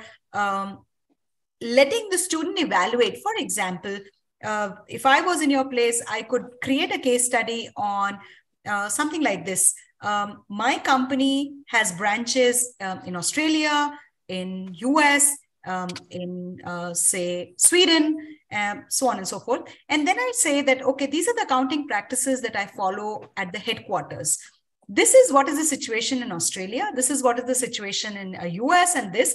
And then try and help them understand what are the accounting practices that you will use at the headquarters? And what are the accounting practices that you will use at each of the SBUs or each of the countries? Um, and then uh, help them understand how does that influence the total revenue uh, or the net worth of the company? How does it influence um, the share prices of the company something like that could be something which is more debatable in nature. So um, uh, when you say that it's a difficult area i absolutely echo your voice that finance is definitely a difficult area. Creating cases is a different uh, difficult area because again real time data is not available. But then uh, you'll have to find um, places which you are talking to about for example when you do accounting principles right mm. so you can mm. actually find places where these accounting principles um, conflict with each other create a uh, small caselet and let the students analyze how accounting principles contradict each other or how do they contradict in a real time situation or maybe um, you know uh, you could give them uh, a marketing data and help them understand how does it you know you give them raw data give them raw completely raw data and tell them to create um, um, you know um, an expense sheet or an income sheet on the basis of this raw data. So let them do calculations related to contributions sales uh, profits per product or sku wise so give them some 50 give tell them hindustan unilevers has 50 skus okay? Mm. now these 50 skus have this much sales this area. Let them do the calculations.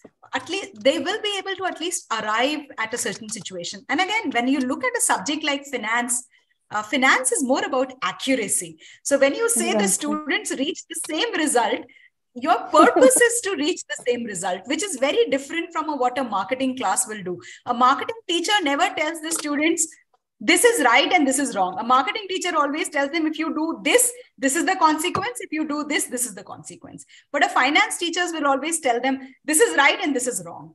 So if the students are actually reaching one conclusion, I feel you are doing your job very well. But then again, the only choice that, uh, according to, uh, as I've learned from you also right now, the only choice that we land up with is doing a comparative analysis, be it a balance sheet, be it the ratio, so, I mean, do we have a limited scope in that case? In More of a comparative than yeah, definitely there there is a limited scope especially when you're talking about financial accounting or financial management when you go hmm. to more uh, you know uh, diverse areas like portfolio management like mm. taxation um, when you go to uh, subjects like financial law probably you'll have more case studies which you will be able to utilize. But in financial accounting and financial management yes there is a there is you know that's the reason why most faculties use more of uh, numericals or practical examples rather than using uh, case studies. But what you can actually also do is you can enhance the practicals and create them as small caselets. So instead of giving them data as it is Hmm. Give them a small caselet. Let them derive the data. So why do you have to give them data on um, what is the fixed cost, what is the variable cost, what is this cost, or what is that cost? Give them a caselet. Let them um, derive right. the data. They will right, find it right. interesting. Right. That would be much interesting. Yeah. Correct. Thank you. Thank you, ma'am.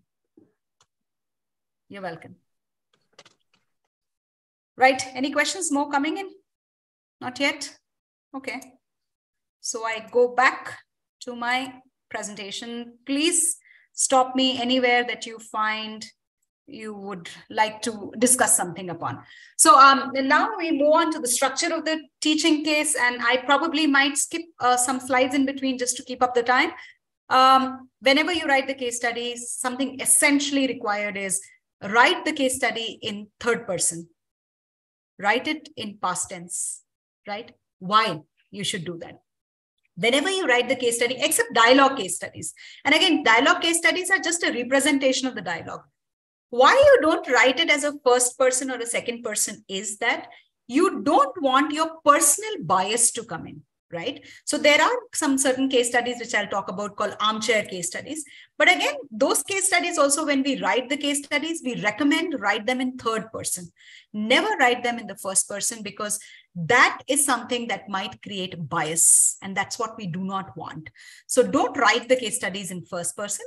Objectivity is something that can be maintained only if you write as past tense and um, as third person. Now, why am I saying past tense? And you say, okay, you're talking about a current situation. So why I talk about the past tense is because I'm actually moving the person from what has happened earlier to what the current situation is. You can leave the reader at the present time and say, this is what. So I'm trying to kind of put the past, the present, and the future. So when I write the story, I write it as past tense. And then when I conclude the story, I write it as present tense. And then I say, okay, this is the past, this is the present, and now you predict the future. And again, this is a good idea when you have series of cases, right? So you can actually create cases into series one, two, three, four, and then you say, okay, this was the past. This is what is the situation. What will you do? And then you have the next case wherein you said okay this is what the person did and this is the current situation. Next what will you do? So on and so forth. Um, begin the case with the hook okay? So what i mean by hook is whenever you start writing the case you should know the issue that you will be emphasizing why is it essential for the writer is because when you collect information. I'm sure if you have been doing some case writing, you must be collecting ample amount of information. It becomes extremely difficult to segregate or drop information. So when you drop information, it is completely based upon the hook that you want to be creating. So any information or any data which is somewhere or the other related to the issue that you want to be highlighting in that case study is something that you should keep and the rest is what you should delete. Another reason why you should have the overriding issue or the hook is whenever you send the case for publication, as I said, teaching note is something very, very essentially required by publications today. When you are preparing a teaching note, one of the topics that you have to essentially write in the teaching note is the area or the topic which the case is focusing on. So when you begin, you begin with the hook and of course, that actually is your ultimate objective, which you want to be discussing. Uh, there is some amount of ambiguity that you should maintain in the case. It's a good way when you create a plot and you say this is theory, this is the concept, or this is the methodology. But it should be ambiguous to an extent that you give the reader a possibility of exploration you give the reader some scope for imagination. Why is it essentially required is your student will have no interest or your reader will have no interest in your case study till they are able to imagine or explore something else. If everything is given in your case study as it is flat, what scope are you leaving for the reader to explore? And there is no way um, i'm sure you know all of us watch movies. And we find those movies interesting where after every scene you are thinking what's going to happen next? Or if i was in this situation what would i have done? Is he doing right or is he doing wrong? These are all situations which are ambiguous. Why is it that not everything is explicitly shown or spoken of? This is exactly what is required in multiple folds in a case study so if you really want to create a good, write a good, interesting case study, leave some scope for ambiguity. Do not be very explicit. That does not mean you don't write clearly. Writing clearly is the basic of writing any um, academic um, you know, paper or any academic activity. But then situation should be left to be ambiguous and not very explicit, leaving possibility of imagination, creation, and exploration for the reader. Uh, the situation should be such which um, tickle critical thinking. So there should be a debatable situation. If you give a situation which is absolutely straight, uh, there's nothing much to think about. There's nothing much to debate about. There's nothing much where I am the person who will finally drive the case forward from the place where you leave. So as an author, you leave the case at a, at a point where the reader has to pick it up and take the case forward. The reader will find it interesting only if the situation is debatable in nature. So create a situation which is debatable in nature and, you know, um, you'll be able to create a good uh, kind of uh, uh, case study. uh, most of the time, most of the times, um, how uh, you can, you know, begin your cases. So some common ways in which you open your case is one, you can begin with the protagonist, with the person around whom um, you are building up the case. So that is where you have a single person and the other actors in the case are just, you know, kind of uh, consequential in nature. Um, they are not necessarily important or essential actors. Sometimes when there is a group of people, so probably um, the country head, the finance uh, manager and the marketing manager are sitting together and thinking whether we should move away from this country or should we go ahead and spend some more amount of money in this country?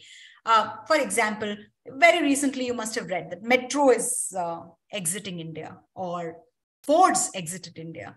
So now when we were uh, looking at this case study related to ford we were kind of looking at a set of people. So the people who are at the headquarters the people who's the person who's heading the country uh, operations the person who's involved in international marketing all these people are sitting together. So these are the key decision makers. So you can either open with the protagonist or you can open with the decision makers. This is when you have people focused cases. The other is where you could begin from the problem or the issue right? So you say okay um, um, suddenly we realize that the sales are coming down.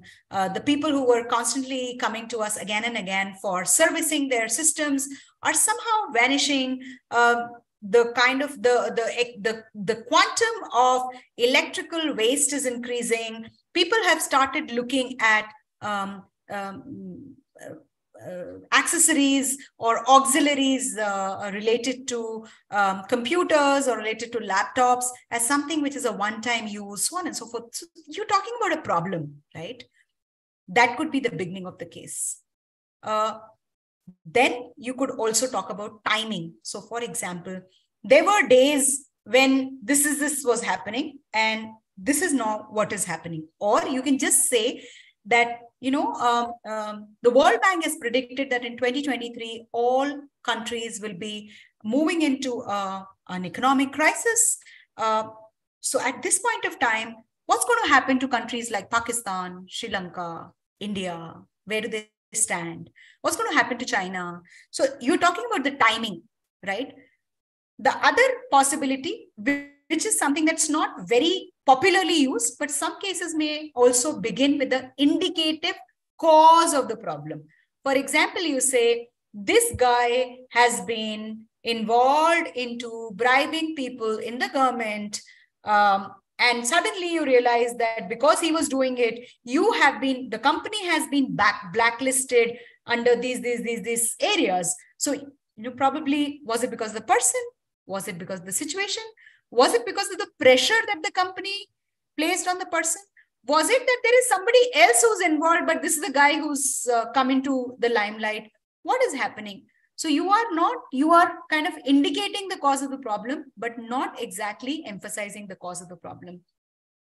Why am I talking about this? What should you open with? So when you write a case study, try that whatever you open with, your last paragraph should close with the same context. So if you're opening with the protagonist, as we just talked about um, Mia Foster, so we the case study started with Mia Foster and ended with Mia Foster. So what you've done is you've created a loop. So the reader is able to figure out the you know the case study started from a protagonist and is ending at a protagonist. Similarly, you begin from the time talk about what has happened earlier, earlier, earlier, later, later, later, and then again come back to the same time which you started. Or you begin with the problem, come back to the same problem, and then move on the case, case study with sometimes leading questions or sometimes open-ended case studies. So case studies can be written as um, case studies which are open-ended, which are the most popular in terms of publication. And you could also suggest leading questions. When you write caselets or when you write case studies only for your class usage, most of the time teachers prefer to use um, you know uh, anchor points or anchor questions. But in open-ended case studies teaching note is something where you'll essentially have to write questions so that uh, you are able to suggest to the teacher what are the questions that you know you should start interrogating the students on. Um, so um, when you open you close at usually the same place. Otherwise the track of your case um, goes haywire you start somewhere and you end somewhere. That doesn't uh, make sense. So close with a close situation uh, with reference to what you opened with. The body should be a detailed story. So you talk the story about so it's like a funnel. How do you write it? So for example um, uh, if i'm writing a case study on x person who's involved with a Y company and is into a situation, for example, they're trying to figure out what should be their HR policy because there is too much of attrition which is happening. Um, all my salespeople are completely gone. I don't know what to do today because uh, it's my season time and uh, I have nobody to uh, make my pitch presentations, right? So ideally, you would talk about what is the industry that the person is belonging to, right? So give some reference of the industry there is a possibility. Why do we give this reference? There is a possibility that the similar kind of trend may be happening in the industry also. Then you talk about the background of the company. What has the company been doing earlier? Does it have faulty HR policies because of which today it's uh, influencing or heavily um, showing on the uh, marketing front? Um, um, you know, what has happened uh, um, uh, earlier on in terms of uh, the suits that have been filed, lawsuits that have been filed uh, by employees on the company or company filing lawsuits against the employees. So you talk about the company, you talk about what has happened in the company. Then you come down and talk about who are the leaders, uh, what are the leadership positions, um, how is those leadership position, positions related to each other?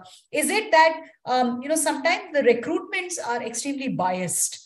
Um, because the recruitments are biased, that's the reason why um, the people who are getting into the system are may not be apt may not be up to the point and they are using this only as a stepping stone this company as only as a stepping stone so, what has conspired uh, in terms of the leadership, in terms of the processes? And then you come back and say, okay, this guy is in this situation, and now he wants to understand what to do. So, it's, a, it's, a, it's something which is called a funnel approach. I'm building a story, but even while building a story, I'm kind of moving from macro uh, um, attributes to more of mac- micro attributes uh, I'm trying to consider all environmental variables. I'm trying to consider all variables which are related to the organization. Ideally, uh, um, the story should show the one side of the story, should be you know built upon one side. Reason, you let the other side of the story to be built up by the reader.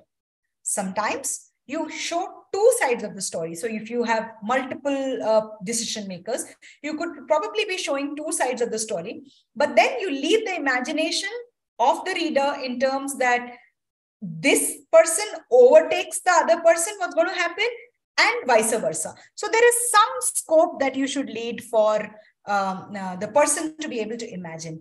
And the case should finally end while touching on crucial issues to resolve. So, which means that whatever issue you started with in the beginning, you leave with that. Even when you have case studies which are written with keeping the protagonist in the center, you will have to look at the issue that the protagonist is facing at this point of time. And then you finally say, okay, this was the issue. For example, the, the Mia Foster case, it started with this, wherein she is going to China to understand what is the problem that's happening in China. And then you end with this that now she has to make a decision whether she wants to replace the guy who's taking care of China operations. She wants to close the China operations. Um, uh, you know, she wants to continue with this guy because he's built up the whole uh, China operations.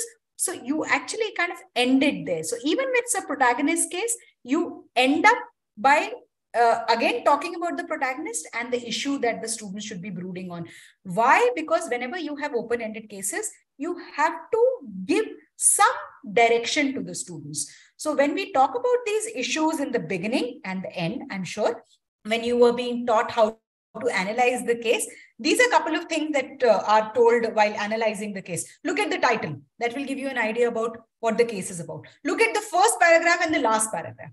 So when you write the case study, the first paragraph and the last paragraph should talk about the issues that you want to highlight in the case study and your body should provide information. And how do you provide information? You use the funnel uh, approach to uh, providing the information. So your case must definitely have a business issue essentially which you should be able to derive. Why?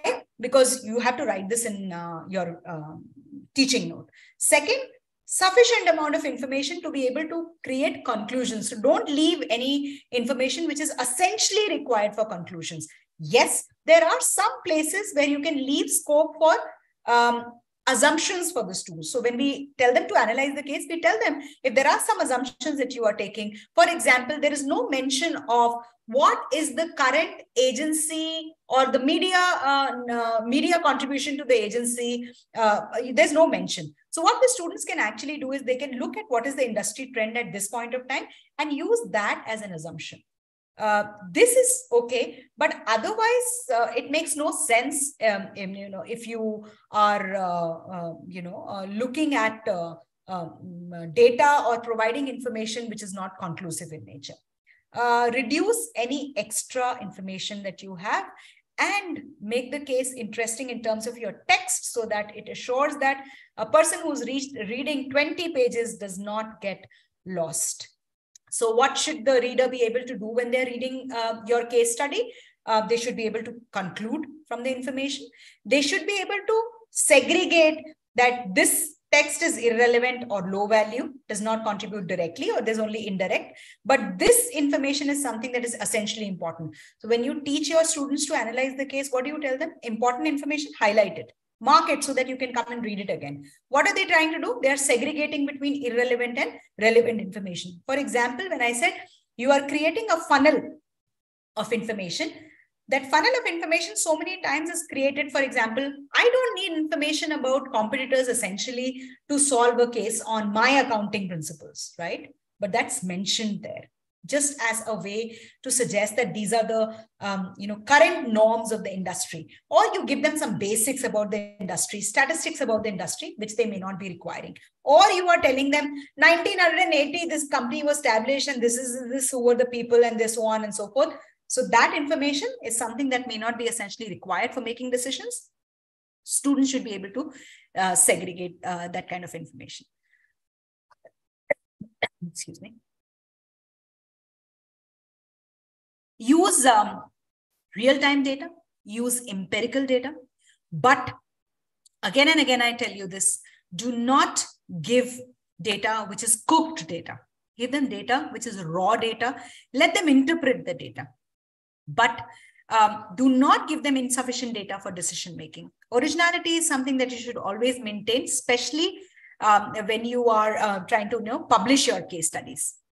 Uh, uh, case studies are also method for research paper writing. I'm sure you must be knowing about this, that today's trending way of research paper writing is using your own case studies and writing research papers uh, using case study methods. Okay, so um, that's another reason why your case study should be such which could be um, uh, created or developed into a research paper. A good way is write multiple case studies on the same concept and then create a research paper where you're using your own case studies uh, which have been uh, created on your um, you know kind of concept.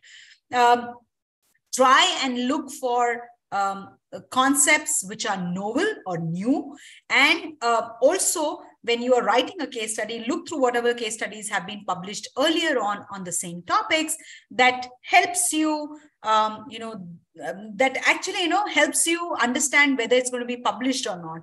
Case studies which have been written constantly on the same topic is not something that the publications are ready to publish um, you know again and again. So um, you know um, case studies uh, which are novel is uh, uh, something which is uh, you know in right now what a case should not do. So uh, confused objectives. You have to be very very clear about why you are writing your case study. Even if you do not mention that anywhere in your case study, you should have a very clear clarity. Because when you are sending your case study for publication, you are mentioning which is the topic, subtopic, area, or learning objective that you want to derive of your case study. If you go to Harvard, you go to Emerald, everywhere, when you look at filtering of the case studies, they are based on objectives, what you are looking for in the case study, right? Never have an objective which is confused. Uh, never include both the challenge as well as the solution. There is no scope for uh, results, right? Uh, nothing that contains a single customer quote. Okay, so uh, let's understand this. This is specifically applicable to marketing case studies, wherein uh, if you are using only a single customer quote, even when it's an institutional customers, a big customer for you, Yet, a single customer is not able to echo the voices of your complete uh, customer base. So never contain a single customer quote. If you are using customer quotes, use at least multiple customer quotes. Do not base yourself on a single customer uh, quote. And, uh, you know, um, case studies uh, should not be written so um, so systematically or, or so without story that they become um, um, boring okay? Um, so this is something that i would have definitely wanted to ask you but then i'll not spend time on that. Uh, so our case study uh, it's an art to write the science of case studies okay? So case study is a science but there is an art in writing the case study. Um, it is neither a fiction so it's not just a story without facts um, nor is it investigative journalism. So a lot of people, um, you know, when you say, I'm going to compile information from secondary data, or I'm going to pick up data and write. So that's investigative journalism. Until unless you're able to build a story upon the news articles that you've picked up, a case is not built. So when you're building a case, it's an art in building the case, but the contents are more of a science. Um, so quickly, this question, um, this is also on the Mentimeter. Um, in case if we have time, so we do have time. Um, can we go back to the Mentimeter and um, attempt this question? Yes, ma'am.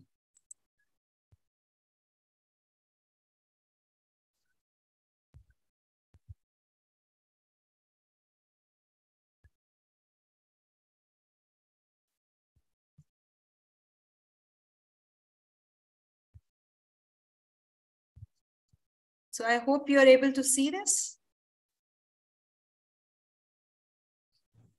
Yes, ma'am.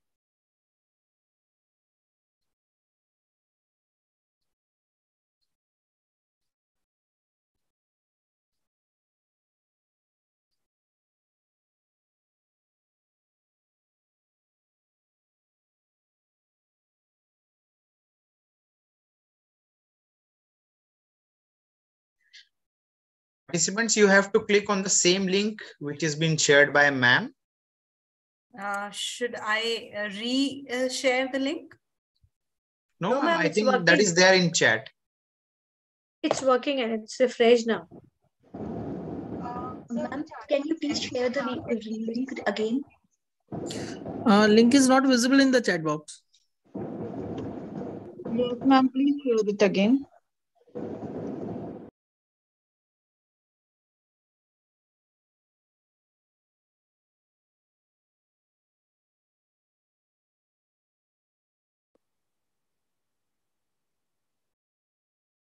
The link and the code.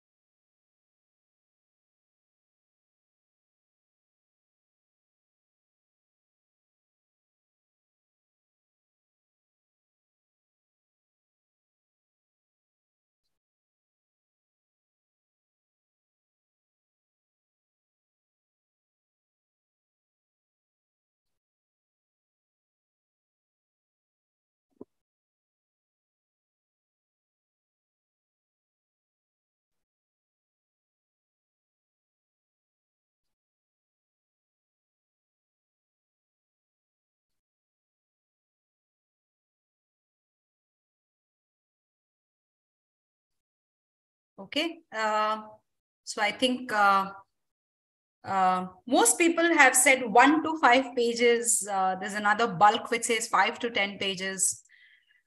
Two people say half to one page, that's a caselet, and 10 to 25 pages, uh, one person is saying. So I'll quickly interpret this for you. Um, let's understand what is the objective of your case writing.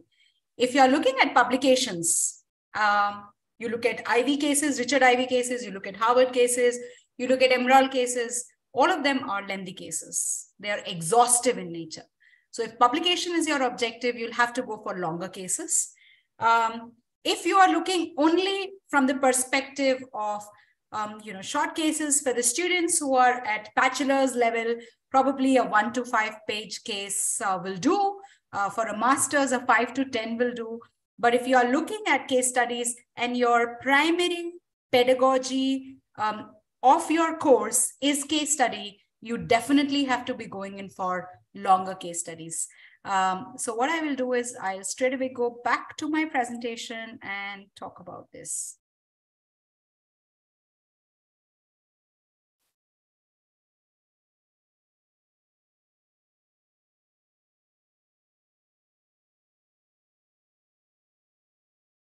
Okay, so um, as I mentioned earlier, uh, 1920 was the time when actually case writing or case studies became extremely popular. That was the time when um, you know, a lot of cases would uh, be very long, right? And now, now is the current time that we are talking about. Case studies, length of case studies have reduced considerably. It has come down from 28 pages to 14 pages and 77% of the best-selling cases, this is the data from Case Center, 77% of their best-selling cases are not more than 20 pages. Sometimes we love to write exhaustive cases, but if you're looking at publication, uh, try and keep maintain your average length, including your appendices and your exhibits to be on an average of 14 pages, right? Um, whenever you do your case writing, uh, this GIGO principle goes absolutely aptly in case writing. Um, if you put in a lot of information, if you just keep uh, you know quoting information uh, and information from secondary sources there is a fair possibility your students will never be able to reach the right decisions so content uh, or how you are writing your creative thinking your planning and your organization of the case is something that will decide whether your case goes in for publication and goes in for a good uh, class analysis or not. Okay. Um, cases uh, you can write. Um, so there are when we write the case studies, we generally classify them into field research cases, which is the most popular and um, most effective if you're looking at uh, um, at uh, publication. The other is desk research, and the least popular is armchair uh, cases, written uh, very few number of times. So field research cases, 50% of the cases that you will be able to see as publications are cases which are field research cases. Um, they are the cases which are relevant because they actually capture the nuances of business.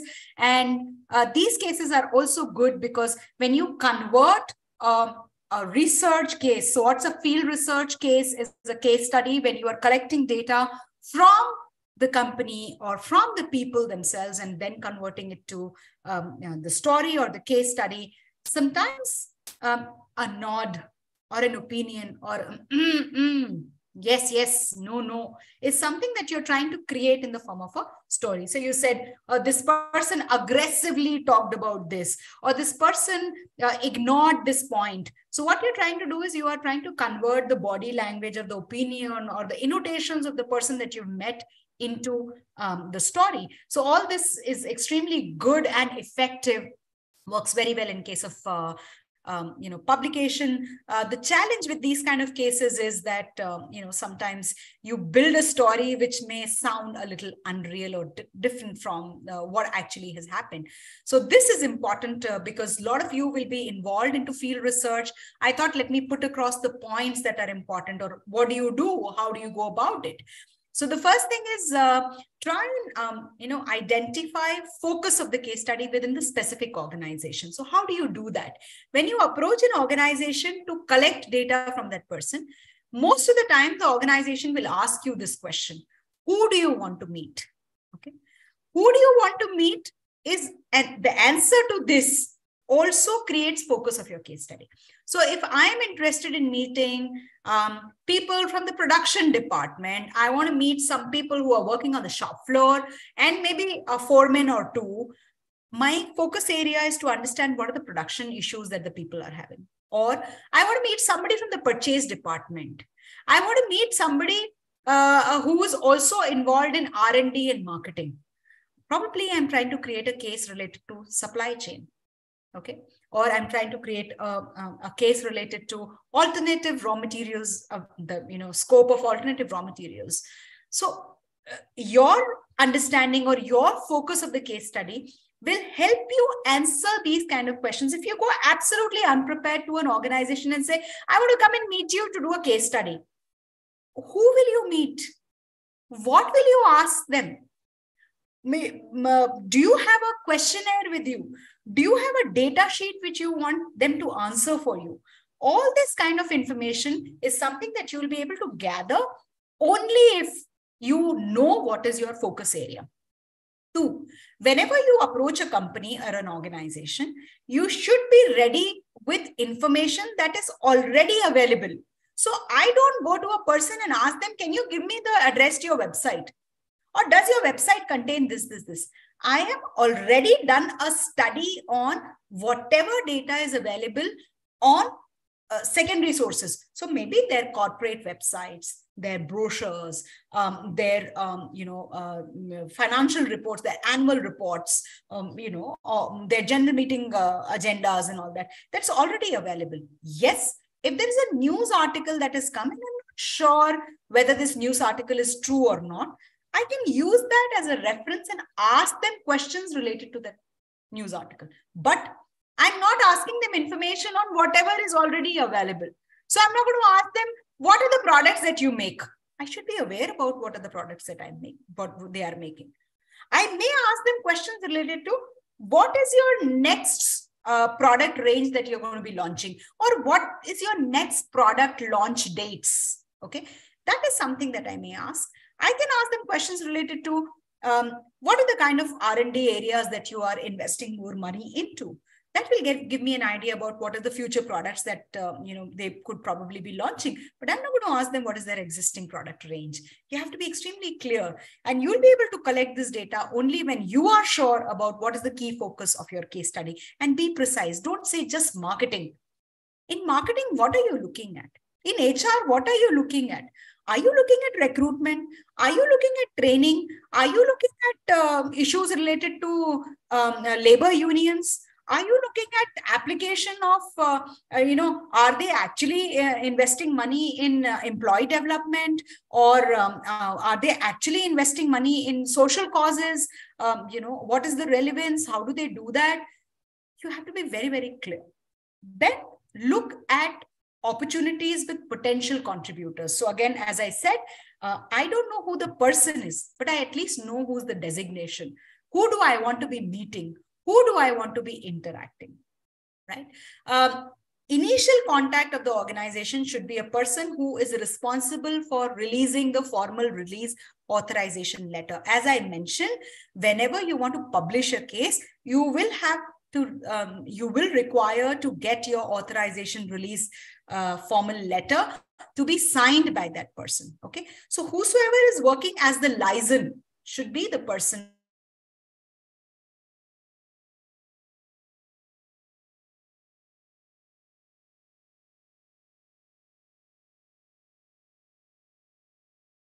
try and agree on the parameters of case research. So you can tell them I'm going to be requiring to meet person in this area, this area, this area.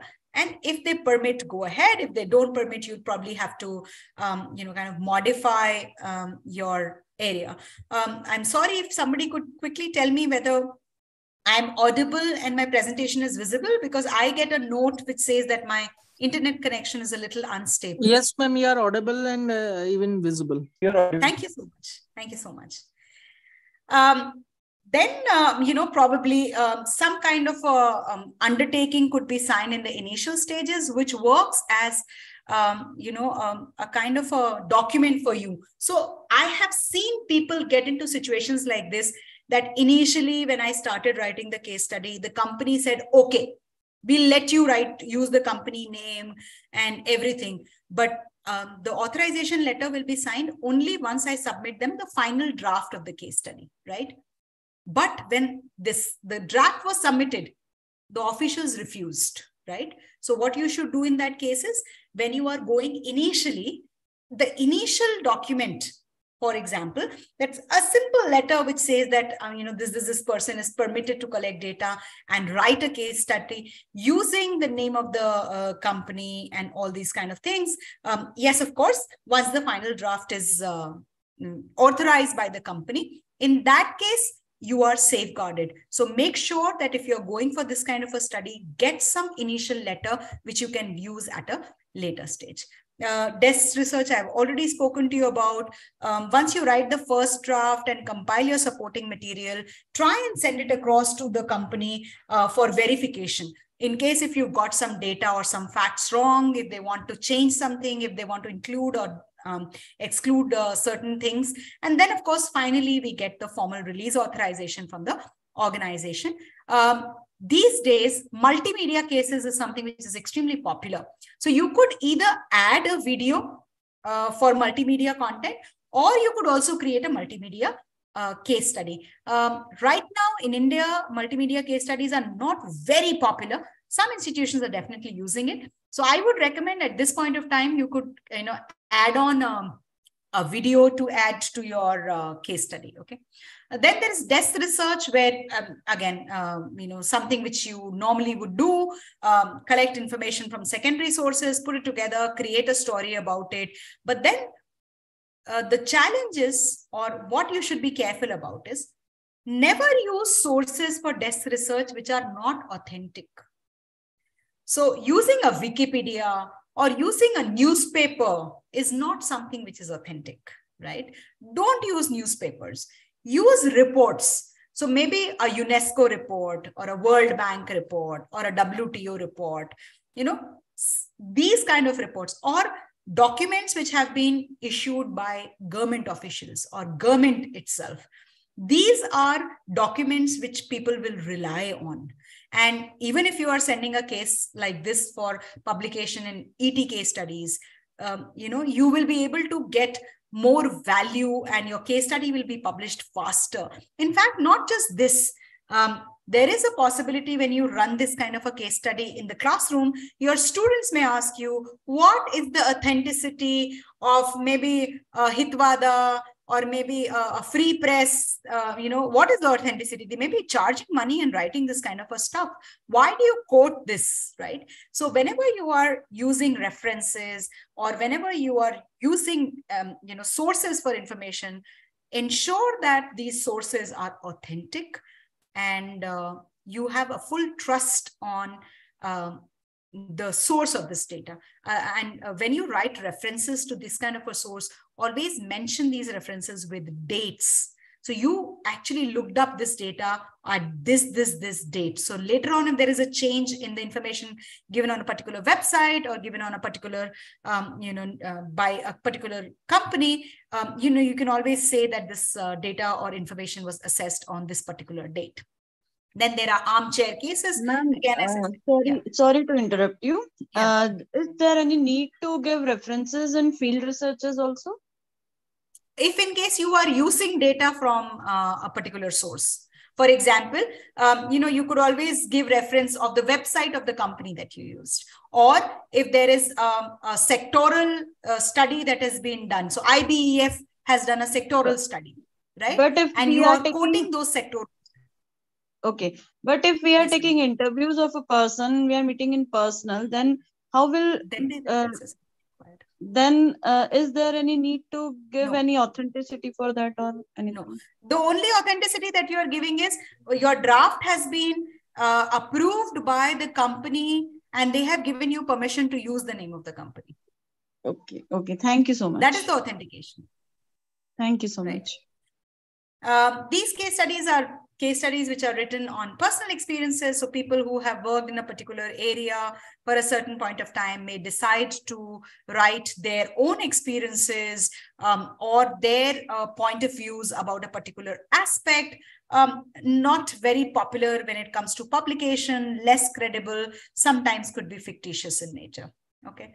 Uh, so I'll uh, leave this point uh, um, as of now, since we are running short of time and um, you know i'll move on to this wherein um, you know i want you to question yourself before you begin writing the case study. Is the case fit for the topic that i want to be covering? Now why this case fitment is required is because when you write your teaching note you probably have to mention that these are the topics under which your case study can be utilized until unless you are ready to give this target audience definition, your case study neither will be published nor will it be utilized. Even if you are able to publish it, people will not use your case study, right? Just because your case study does not fit in particular topics. As teachers, what do we do? We look for this. Okay, I want a case study on this topic, this module. Okay, if your case study is not fitting into a particular module or related modules, so I don't say necessarily one module, but three modules, your case study will not find readers and users. Okay. Then audiences. So, how do I define audiences? Is it an undergraduate class or is it a postgraduate class? Reason an undergraduate class may be uh, able to understand only level one, level two of the topic. It's the master students who can understand a three or a four. So if you're writing a case study for a bachelor's class versus a master's class, it's going to be quite different. The master's students are more mature, they're more experienced, um, they are, uh, you know, they have the capability of deep diving into the topic. And that's the reason why they will be able to analyze your case study better as compared to the bachelor student. So what do I do? I strip down the case study, right? And create it for the bachelor students wherein I just talk about the basics, right? And I do not talk to them about complex articulations. If I'm creating complex articulations, my audiences have to be necessarily uh, the senior students, or maybe students who are in their final year of uh, the bachelor's course. So they have been, um, you know, exposed to different areas and they have an understanding. So you can always identify your target audiences and then create your case study according to this, or define your audiences based upon what you're talking about. Always look for existing case studies. So if there are case studies which are already published in your area, it's waste to um, you know spend your time on that topic.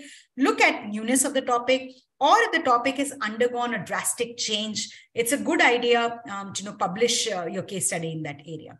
Um, where will you classify your case? Because your I'm, I'm not saying you have to explain to somebody else why the type of case. It is up to you. Because when you are able to classify your case, you know your direction, you know your route. Okay um, you know um, so it's like you know using the google maps to reach the same destination different routes. So i may be reaching the same destination but i'm using a different route because my type of case study differs. What will be the decision focus? I, am i able to create things like controversy contrast conflict or dilemma in the case? Which means that i said you don't create confusion but you create a possibility of discussion a possibility of exploration. So create some amount of controversy or contrast. Two people thinking two absolutely different things. Or you can say, um, the company, if it goes this way, this is going to happen. And if it goes this way, this is going to happen. If I drop my products um, or I withdraw from the country, I don't know how the other countries are going to respond. Or if I'm entering a new country, how it's going to respond. And if I stay in the country, what is going to be the impact on the losses that I'm incurring in my headquarters? So I'm creating a contrast. I'm creating two situations which are completely opposite to each other. Uh, then, of course, uh, you know, uh, begin with the standard components, look at the time frame, the data that you will be requiring, and the style that you would like to be um, using, right? So when you write narrative cases, um, you know, I'll quickly uh, go through this. Um, you begin or talk about um, um, a story or a scenario. You start adding data to that scenario, start adding complexity to the situation, and probably with adding actors, you create a drama. You could also use conversation, but your main thing should be the plain thing. So do not highlight your main thing. Let the readers highlight your main thing, right? Um, so it should be as plain as possible. Um, this is something that I've spoken about. Uh, so uh, the you know the only thing that I will quickly add on is that uh, remember to segregate your cases into headings, sections, right? Understand where should be the location of diagrams or data, number of diagrams that you should be having. They should neither be too many that become unnecessary and nor too less. So there's also something like this. We always, um, you know, kind of figure this out. Should I write this data in paragraph or should I convert this into a table?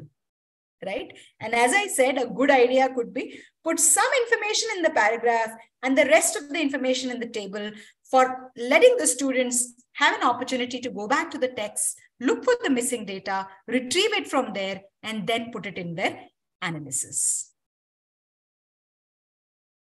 So um, uh, create a chronological order, write in past tense, use actual dates as much as possible. Um, create a sequence um, in your case. So when you're creating an expository structure, the idea is the data should be relevant in terms of the outcomes that uh, you want to derive uh, out of the data. Uh, never give results as it is. Let there be some analysis that's going to happen. The plot structure should be such that the key characters of the organization or the key decision makers are exposed and the learners are able to step into the shoes of the character um, you can also decide the pace of the case. So what, what do I mean by the pace of the case? Like the Amazon case that you saw, started in 1997, goes on till the current date. Okay. So the pace of the case is very fast. You've covered so many decades in a single case. There could be a possibility where you start the pace of the case just as, you know, just uh, when the pandemic happened, this is the situation, and then you come down to the current date. So you can set the pace of the case depending upon what you would like to be, um, you know, looking at. Um, so I'll instead of this talk about this. So uh, a case structure, an ideal case structure should have a case heading. A case heading should be more than uh, the name of the company. Okay. So for example, um, uh, um, the branding dilemma a case study of XYZ company or XYZ company into a branding dilemma. Okay. So I have already with the case heading said that this case is about this company and it's about the branding dilemma. Okay. So some hint about the topic of the case study or, um, you know, frame your, um, you know, title in a format where you are able to indicate what the case reader has to be, um, you know, essentially searching for in the case study. Uh, the first paragraph should be related to the key issues. Then you start moving to the context. And I said use the funnel way of doing it. Come down to the current situation. You could also be looking at uh, the history of organization or the key characteristics. Finally, end with again a reminder or a paragraph about the key issues, include exhibits, and then go on to the teaching note.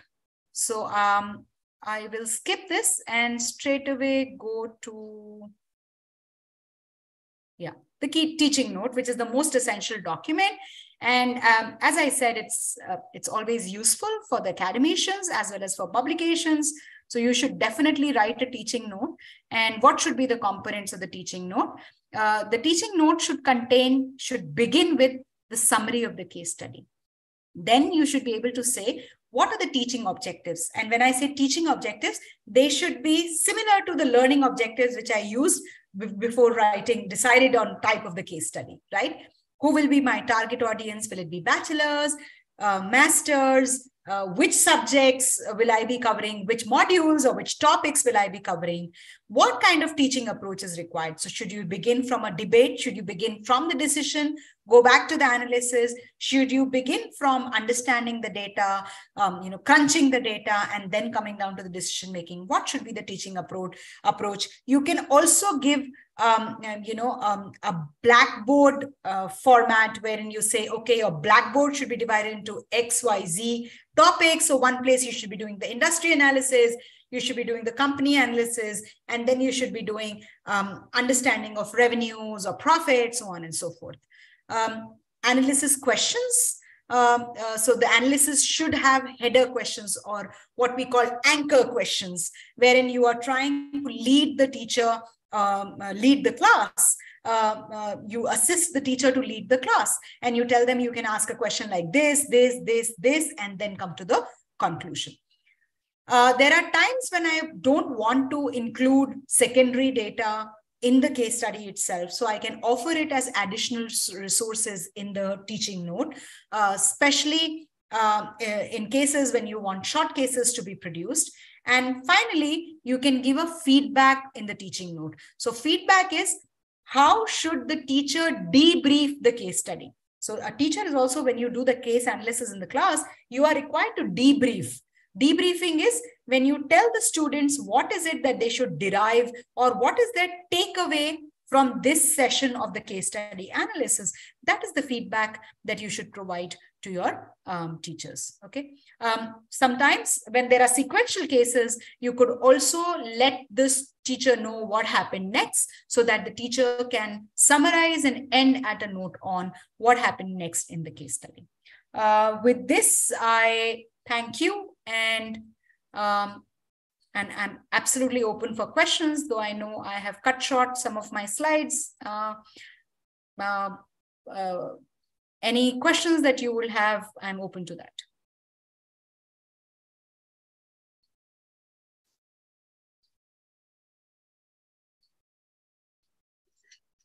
Ma'am, would like to ask one question.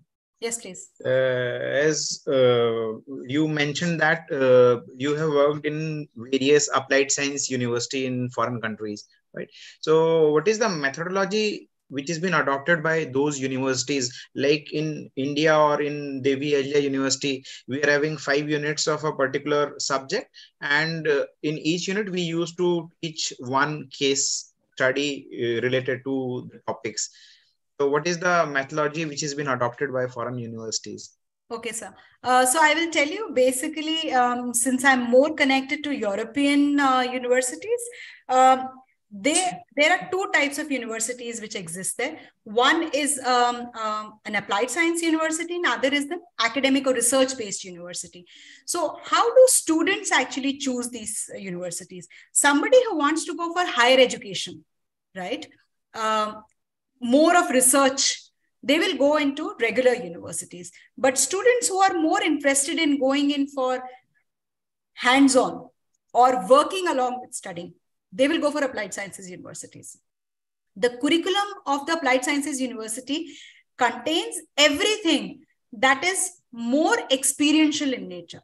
So time spent on lecturing, for example, I do a 90 minute session uh, with the students.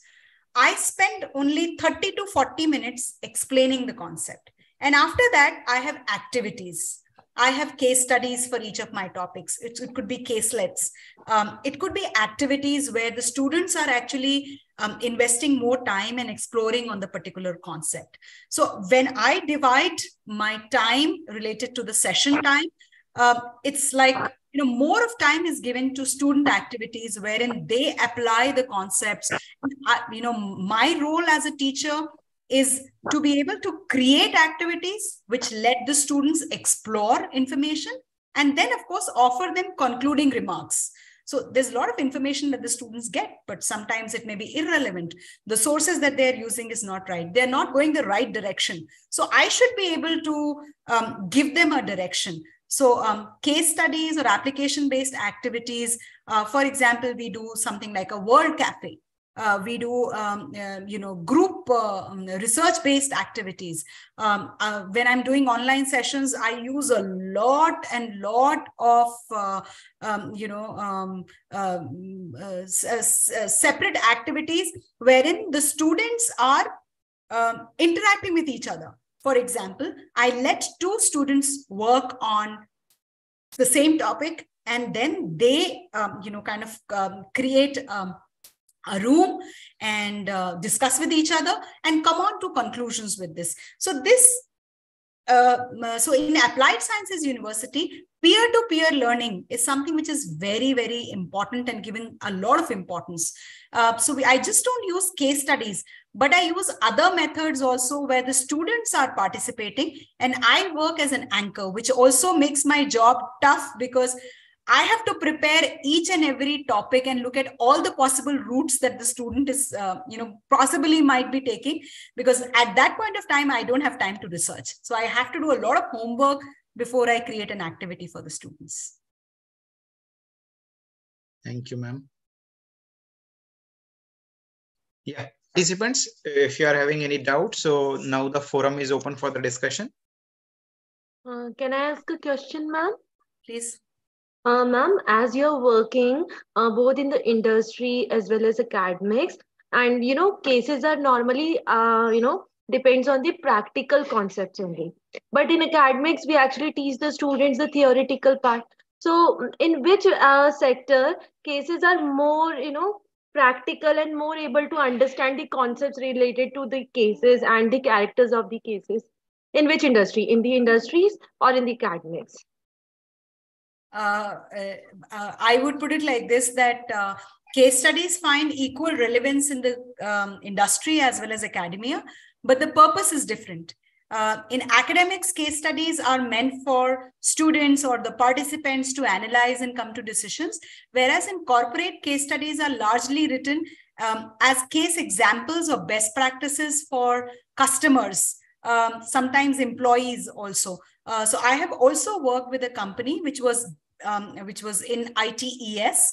Um, that time I was an academician, but I got an assignment where I was writing case studies for them for internal circulation. So for example, uh, they would give me a situation, I will write a case study and they would circulate that as an internal communication uh, to their employees, telling them uh, that this was a situation, this is how it was handled. If you enter into a similar situation, this is the possibility that you can do. So again, uh, case studies in corporate are very relevant to exhibit best practices um, as inter for internal employees as well as for customers.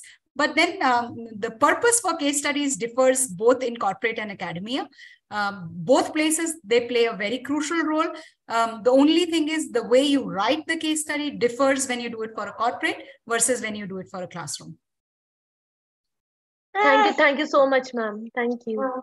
Baby, Siti Petro.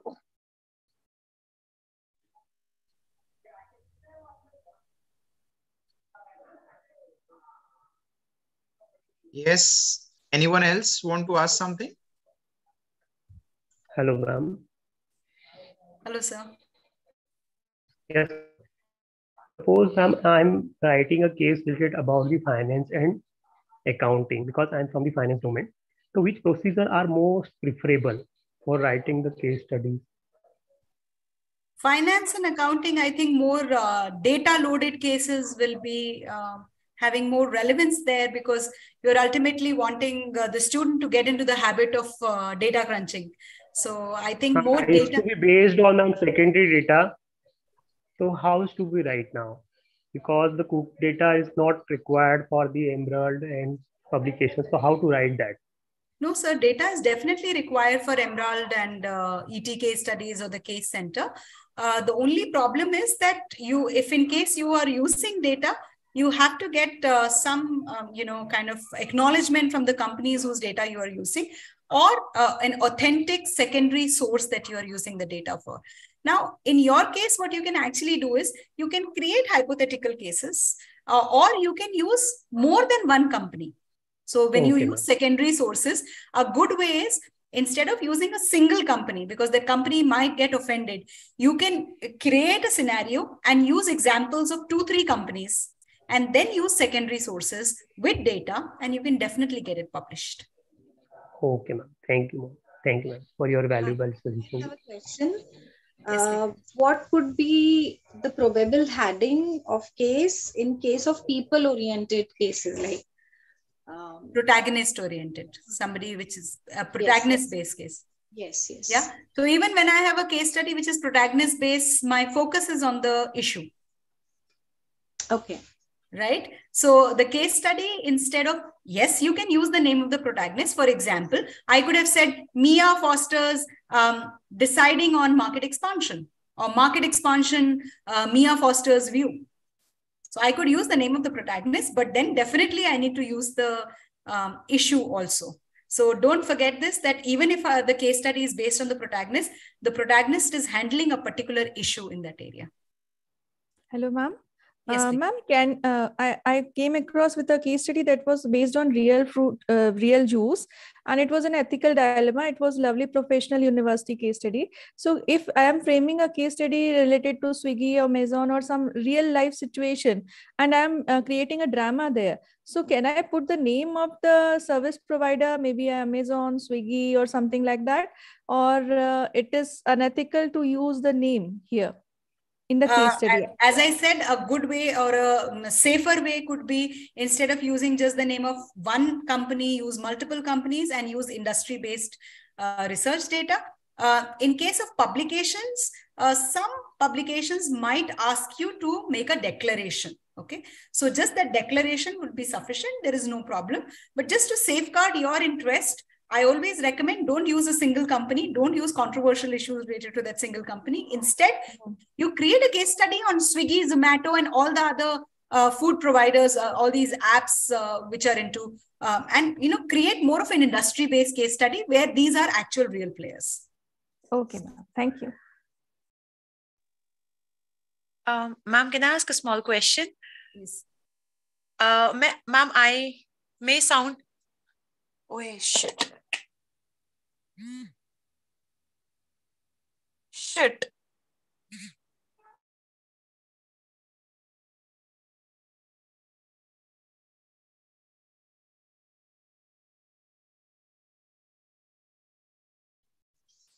I think Shiji ma'am just stuck in a problem. No problem, sir. Maybe you can take her question and post it to me. I will be happy to respond. Sure, sure, ma'am. Sure. Ma'am, there is a question again popping in my mind.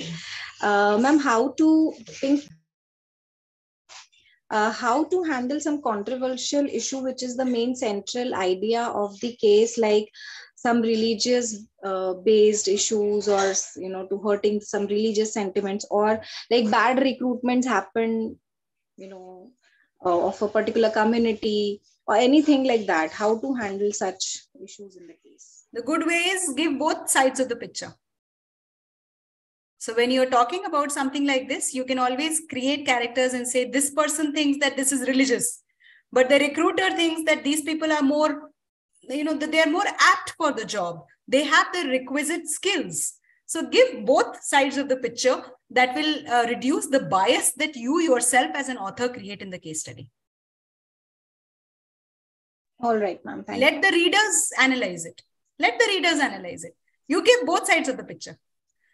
So when you're Alright. talking about something like this, for example, you say um, they, uh, you know, recruited one one part of the society, X, Y, Z. Okay.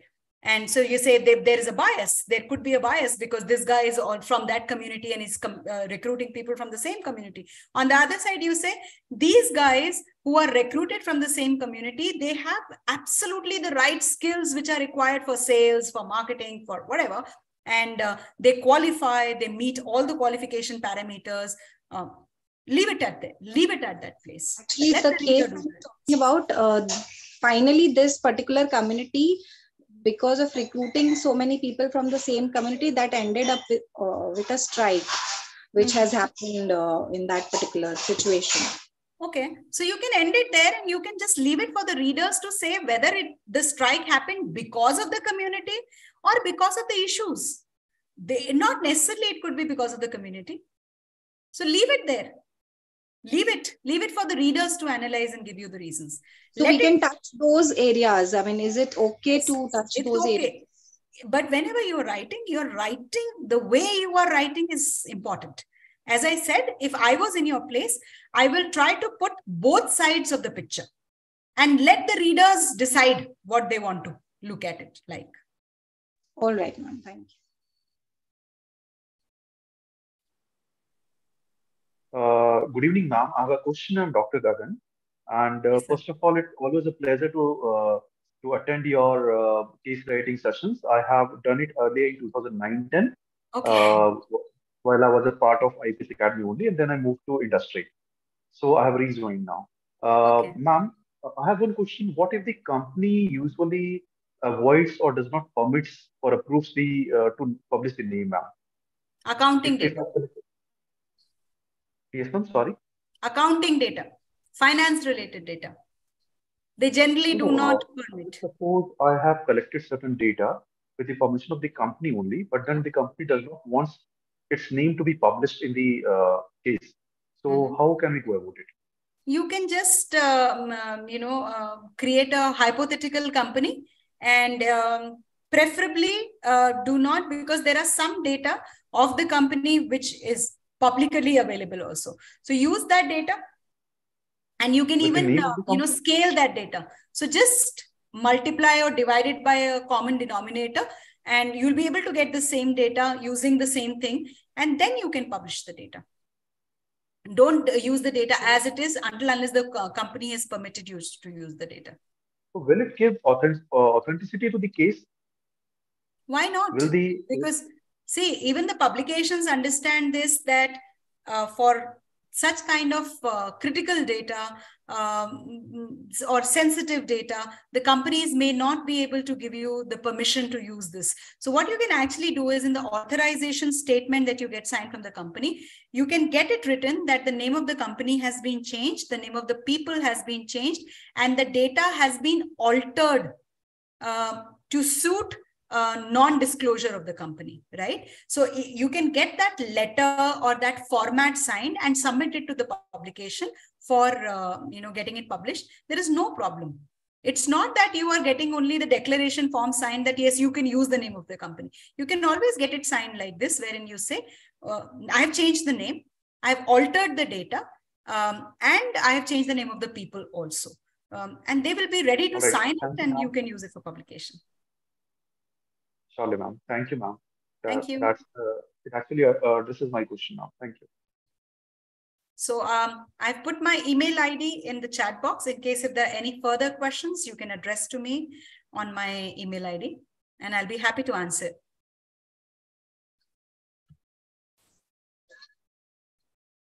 Yeah.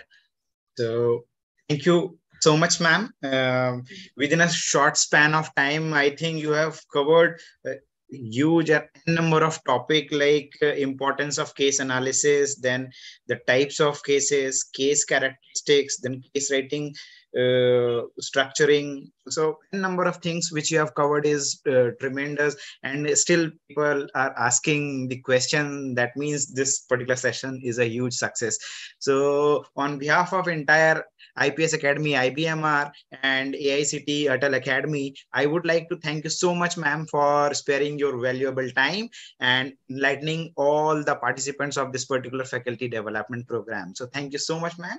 And one small request I would like to do on behalf of all the participants, if you could share one or two of your cases with uh, the participants, so they'll be going through that and they'll be having one insight regarding how to write cases in a particular flow. So that Sure, would be great, ma'am. Sure, I'll share the links of my case studies since they're all published. You can have a look at that. And in fact, uh, um, you know, I was kind of skipping through so many of my slides just because I normally do this as an extended session. I still could not touch on publications. I would have loved to do a more detailed uh, analysis on uh, research-based cases. What are the challenges that people face? How they should uh, overcome those challenges. But it's good that uh, participants have been asking so many questions, and I'm I am happy to help you, and I'll be happy to help you in future also. Yes, sure, ma'am. Thank you sure. so much, sir. So thank you so much, ma'am. Thank you so much for Thank the wonderful session. Thank you. Good night, everybody. Good night. Good night, ma'am.